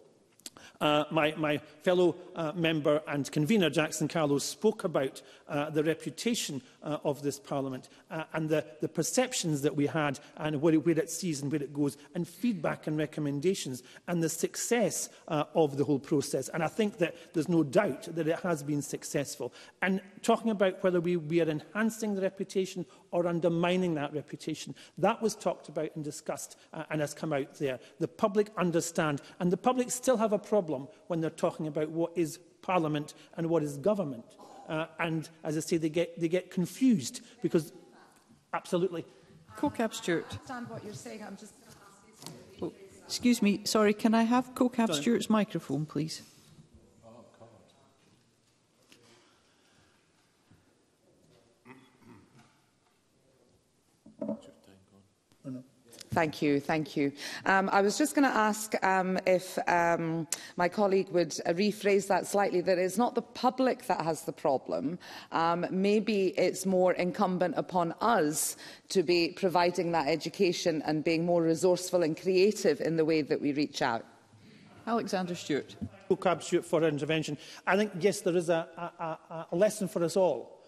uh, as to how we here uh, are perceived and represent ourselves, but also how the public perceive us as representatives of them. Uh, and there's, a, there's an imbalance there at the moment, and that, that, needs to be, that needs to be talked about. So I think that, you know, there's a lot of feedback uh, uh, presiding officer, as to where we are. And I think the pilots that are going to be set forward uh, once again will give us an opportunity to evolve and to work together to ensure that we can help one another. The Minister uh, uh, in, talked about in the report that there were real challenges that we had to deal with going forward, and I think that's the case. Uh, and the vision for this Parliament, that it wants to be engaging and that it wants to get the right balance, because the balance is important. Uh, Maurice Golden spoke about uh, the themes of the report, uh, uh, and how that was, and talked about questions and answers uh, and how that's managed and perceived uh, within this chamber uh, and within, and what is a community. Uh, I've not got time to men go to everybody, but I'd like to mention uh, the, the excellent contributions we had from Martin Whitfield, uh, from Ruth Maguire, uh, Edward Mountain, Michelle Thompson, Co-Camp Stewart, they all spoke with passion uh, uh, presiding officer, about what they see within this parliament and how they want it to be represented. Uh, so, uh, presiding officer, the, the healthy level of public participation should be a key ingredient into the way we deal with democracy and our systems. Through the public participation inquiry, we have clearly identified a number of ways we wish to improve the process and participation here in Scotland. It also gives a positive contribution to where we're going. And in conclusion, uh, much work has been done on the inquiry so far, and I look forward to seeing the progress that we will see in the coming years. The report talks about the timescales for 23-24 and uh, a publication report in 25. This report will set out the uh, democracy might become institutionalized uh, within our whole Parliament and how we can along, uh, along the challenges across the Chamber. I look forward to seeing some of the ideas debated today being put in place at the start of the next parliamentary session. I also look forward to seeing this Parliament take another step towards becoming the inclusive, dynamic and engaging institution that it wants to be and should be. Thank you. Thank you. And I call on George Adam. Up to seven minutes, Minister. Thank you, President Officer. And can I say I've really enjoyed this very open and thoughtful debate. If only we could maybe do that more often. Uh, that's just a joke. That's just a joke. But is it? Is it? because the whole idea is we've all sat here and talked about the challenges and the difficulties. We've done it in a mature manner. We've talked about the, the, the way we can go forward. It's maybe something we should all take from this one debate when we actually move on to other things in the future. Uh, but I, enjoy, I thank all those that engaged with this debate. And one of the common threads of this debate has been uh, not just engagement, but who we engage with. And it really matters who's involved and the type of participation that will work for them. And we must be thoughtful about this when we do this. One of the forms of engagement the Scottish Government does, which I forgot to mention at the beginning, was the Travelling Cabinet and Travelling Cabinet has uh, uh started up again, uh, unlike uh, Mr Carlo and his committee, uh, Paris, Dublin, you know, we went to Inverary, it was lovely but we spoke and engaged with the people of Inverary and Argyll and the specific issues that they had. And that's an important thing for the government to do. And it was good for me to be able to chair that uh, as the Minister for Parliamentary Business, because A, I do enjoy that kind of engagement with uh, the public, and B, it's good that we sometimes feel uncomfortable. It's good that governments get that opportunity for the public to actually get their say, and that specific community got their opportunity to say it, and that's something that's going to Yes, I will. Michelle Thompson. Can he confirm the rumour that the next visit will be to Fergusley Park? Minister. Uh, no matter how many times the Minister has brought that up, uh, it appears that that, as I've been told, we've already been in Renfrewshire one time before, so therefore that's a difficulty. But yes, I will take from this debate, uh, eh, Ms Thompson, that uh, you've obviously encouraged and that might be a way forward for us uh, with but there's been 51 travelling cabinets since 2008, and it is a mechanism for the public to directly hear from uh, the, uh, the government themselves. A participatory approach is a golden thread through all the work we do, and this is demonstrated through our Verity House agreement with local government, our social justice work to empower communities and the review of local governance through our Democracy Matters conversations. It's also clear in the wider work that we do to tackle some of our deepest challenges, such as poverty, inequality, climate emergency and reforms to health and social care. On the 4th of October, I updated the Citizens' Participation in Public Petitions Committee at their pre-budget scrutiny session to say that the Scottish Government is looking to resource a team that will have the capacity and the authority to develop, maintain and coordinate a consistent approach to public participation across the Scottish Government. Work on this continues and we recognise that this is not something that one organisation can deliver alone and this is something that's come up in the debate today because the Parliament has a role in this as well and I'm pleased to say that uh, this was acknowledged in the committee's report as well well. Presiding officer, we had quite a, a selection of individuals who were involved in today's debate. Morris Golden mentioned about parliamentary questions. I was going to say PQs, but we've already been told that we use acronyms far too often in this place, and that's another thing that makes it actually quite difficult for others to engage. Uh, I always like to think, uh, Mr Golden, I'm someone that keeps a short, snappy and concise answer to the question. I do engage with uh, anyone who has asked a question, and I think it's important that we take that on board. I have asked uh, colleagues, uh, you know, can you explain the question so we do not have that misunderstanding? Because that can happen a lot of the time. Martin Whitfield. George Adam given way. And doesn't it reflect what Ruth Maguire said, that actually there is a personal responsibility, almost irrespective of what hat you're wearing, to respect this chamber and, and, and act appropriately. Let me put it that way. Minister. Yes, I, I, and I think so. But part of the reason I do it is I just don't want to be... Uh, gibbering on for 10 minutes talking about something that's nothing to do with what you actually asked. You know, it's no problem.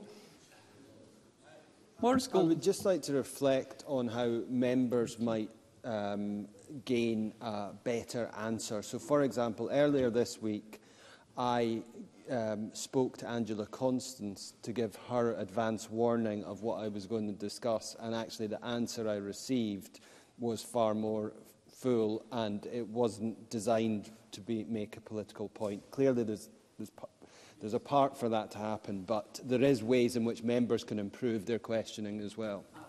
A valid point, Mr Golden, because I think we have to engage with each other to, so that we, not just we get the value out of the question session as well, but the public uh, understand what's going on and they get the value as well uh, also. And I think that's a perfect example of all of us taking responsibility in how we do business in here. And uh, uh, Martin Whitfield uh, spoke about the examples uh, mentioned in the report and how this should be embedded within the Parliament. And I think it is important. It should be an important part of these processes of the Parliament. Uh, sometimes not all of us get involved in a army over a certain issue in this place, but at the end of the day, the public just want this place to do the job to do our jobs and uh, they sometimes don't want to see us get involved in an absolute rammy on various uh, issues as well. And I think it's one of the things that we all need to, when we're dealing with highly political and highly difficult debates, we need to possibly look at ourselves in the mirror and say, what are we, anybody else that is not in this bubble, what do they see when we do this? And uh, I think that's an important thing. I, for one, uh, try to not get dragged into that, but sometimes we can't help ourselves.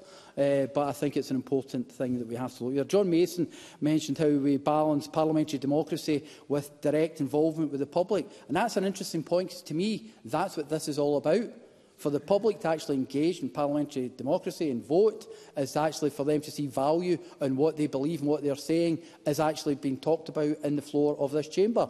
And I think that is exactly what we are looking to do when we do this. I don't know, also John, John Mason mentioned uh, parliamentary questions and uh, the presiding officer working out the genuineness of uh, the questions. I don't know how you define that, uh, uh, the uh, presiding officer, uh, but uh, that might prove to be quite difficult. Edward Mount spoke about the importance of us actually delivering on the engagement, and he's 100% correct because I think this is what I, when I asked my question to Mr O'Kane, was effectively the questions we ask these groups uh, to go and do some work on is equally important. If we ask an all-encompassing kind of long debate, we are going to get a very detailed good report, but it's going to be very difficult for any of us in here to deliver on what was said in there. When you look at the Irish scenario, they asked uh, their Citizen Assembly direct questions uh, about certain issues and social issues, and they got the answers from the public there. Presiding officer, just in closing, because I could see you are uh, motioning to me that I have run out of time. Uh, my opening speech I close with, uh, I look forward to listening to colleagues and exciting new models for engagement uh, and for the people we serve. And this can change our Parliament for the better because the way of, of working can create a bond an importance to this place with the public. And I look forward to working with everyone in this chamber to deliver, to deliver that brave new future for our democracy. Thank you. And I call on David Torrance to wind up the debate on behalf of the Citizen Participation and Public Petitions Committee to five o'clock, please. Thank you, President Officer. And can I also welcome members of the Citizens Panel to the public gallery and the committee staff and thank the committee staff for their hard job of keeping us on time and in place on our world tour. This has been an interesting debate and it's been encouraging to hear from colleagues across the Chamber emphasise the importance of making Parliament's proceedings accessible to people from all walks of life, encouraging them to engage in our work.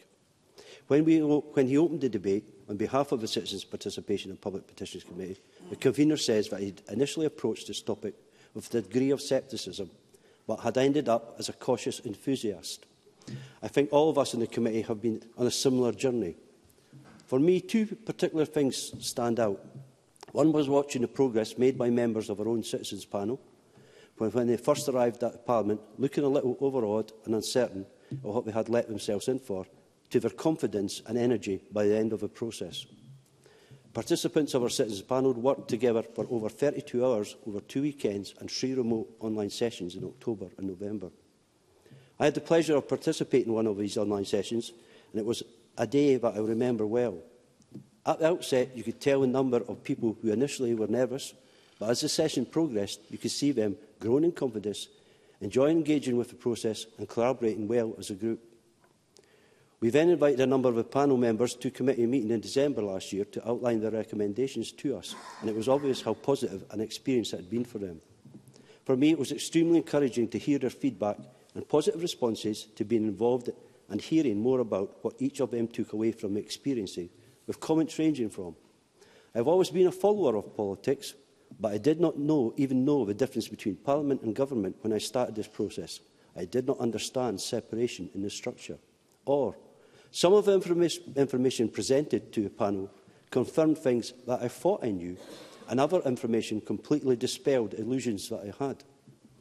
The second thing that shifted my own view was a visit to Paris and Dublin to see how deliberate democracy has worked and is working in these places. Neither of these systems, or the one in Brussels, which we also learned about, is perfect, but it was clear from speaking to participants, politicians and officials involved But deliberate democracy has been a valued part of how they do politics. And I'm confident we can find a way to get these benefits here in the Scottish Parliament. Jackson Carlo, Paul Kane and Alexander Stewart have all spoken of the Irish Assembly. I believe that from Ireland model, we have a strong example of benefits of a well-structured Citizens' Assembly. The Irish Citizens' Assembly was established in 2006 following the model of its predecessor, the Convention on the Constitution, which ran from 2012 to 2014 whose recommendations had led to a 2015 marriage equality referendum. For many years, and despite increasing pressures for change, politicians of all colours had been reluctant to engage in the issue of the Eight Amendment directly to place it firmly on the political and legislative agenda. But it took only the input of 99 ordinary citizens randomly selected so that to be broadly electorally represented of Irish society in terms of age, gender and social class to help break years of political deadlock and reach a consensus on this highly polarising issue. The decision to call a referendum was in fact based on the recommendations made by this panel, and I believe it's a clear example of how bottom-up citizenship input can complement enhance representation democracy and act as an impetus for constitutional reform. We all know the result of a historic referendum held in 2018, but what many people probably don't know as the outcome of the referendum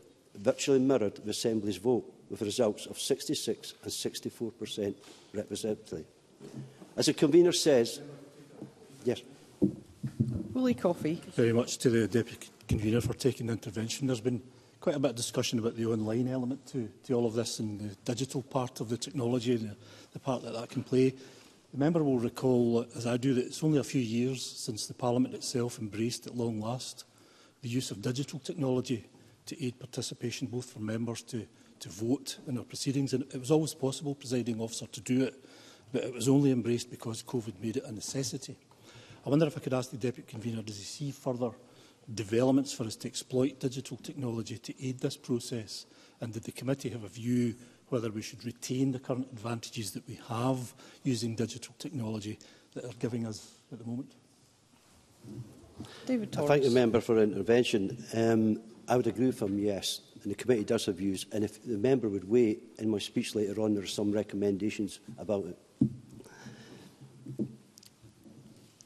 We are fortunate uh, in the in-house experience and knowledge and support that has been provided by officials across the Parliament, and I would like to put on record many thanks to all those who have helped us during the course of this inquiry. Turning to some of the comments during the debate, on confusion terminology, citizens panel, citizens juries and deliberate democracy. These are key terms defined in page 4 of the report, and Parliament should know that we recommend the use of the term People's Panel based on our own Citizens Panel's recommendation. As well as recommending greater use of People's Panels, a report also considers many other aspects of participation. We heard some striking evidence early on about many barriers to engagement there are and this was amplified by views of our own citizens panel. As Ruth Maguire's question early on, and Willie Coffey's intervention, the panel made a number of thoughtful recommendations about how Parliament could do more to seek out a range of voices and make it easier for people to engage, for example, by better promoting translation services and the use of an easy read, and by creating a new web page where people can register their details so Parliament can alert them each time there is a new opportunity to express their views.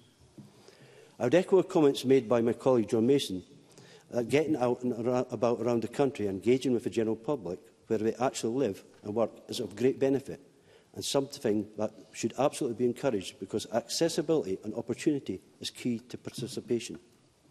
A report re responds in detail to all the recommendations that the panel made, and it was encouraging to find that, in many respects, the panel was pushing an open door. As the Minister mentioned earlier, the Parliament already has a public engagement strategy and there is already a lot of innovative work underway. We hope that his report and the contribution the Citizen Panel has made will serve to push that work forward and give it a higher profile. The final section of the report sits under a theme of strengthening trust in Parliament, and that was a bit more challenging for the committee.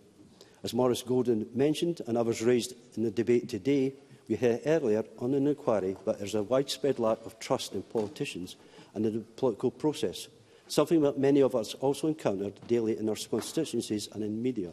So it wasn't a surprise, but this also came out clearly from a citizens' panel, three recommendations under a heading. One of these recommendations was to give members of the public a direct opportunity to put their questions to government ministers. As a committee, we were unable to support that idea of delivering this through a new type of chamber proceeding – for a number of reasons set out in the report, but we do agree that underlying idea might be worth exploring further if there is cross-party support for doing so. That might be something that the Parliament in Brunei could look at. The two other panel recommendations on theme of trust were to give the presiding officer more powers to ensure that oral questions in the chamber are properly answered and to set up a people's panel to discuss MSP's code of conduct. In each case, we had mixed feelings. We understand why public trust is damaged by the way We sometimes conduct ourselves in the chamber, and we therefore respect what is uh, motivated and motivate these recommendations, but also see real difficulties in implementation. For a reason, we have proposed that the Standards Procedure and Public Appointments Committee could explore these issues further. If you could conclude, please. This is not meant to sound as if we are just passing the buck. It's more a recognition that matters relating to a member's conduct and matters relating to a chamber procedure fall squarely within the committee's remit and ours and we look forward to hearing in due course the outcome of the SPPA committee's consideration on these issues. In conclusion, Presiding Officer, I'd like to close this afternoon's debate by thanking members for their thoughtful contributions. I hope this has gone some way to convincing other members to support the direction of travel set out in the report. The experience of other countries has shown us that the government is receptive. A citizens panel can deliver dramatic policy recommendations on difficult and emotive issues through people-led discussion and with complete transparency and fairness. It's now up to us to reflect on the role that we can play in our own democracy, and I would encourage all members to support the convener's motion. Thank you. That concludes the debate on embedding public participation in the work of the Parliament. It's now time to move on to the next item of business, which is consideration of motion 10958 in the name of Shona Robison on Economic Crime and Corporate Transparency Bill, UK legislation. And I call on Shona Robertson to move the motion. Cabinet Secretary. Uh, formally moved, Presiding Officer. Thank you. And the question on this motion will be put at decision time. And there are two questions to be put as a result of today's business. The first is that motion 10765 in the name of Jackson Carlaw, on behalf of the Citizen Participation and Public Petitions Committee, on embedding public participation in the work of the Parliament be agreed. Are we all agreed? The motion is therefore agreed.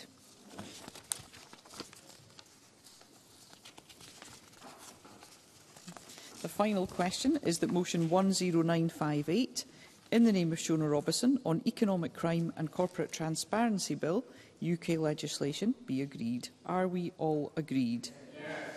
The motion is therefore agreed and that concludes decision time and I close this meeting.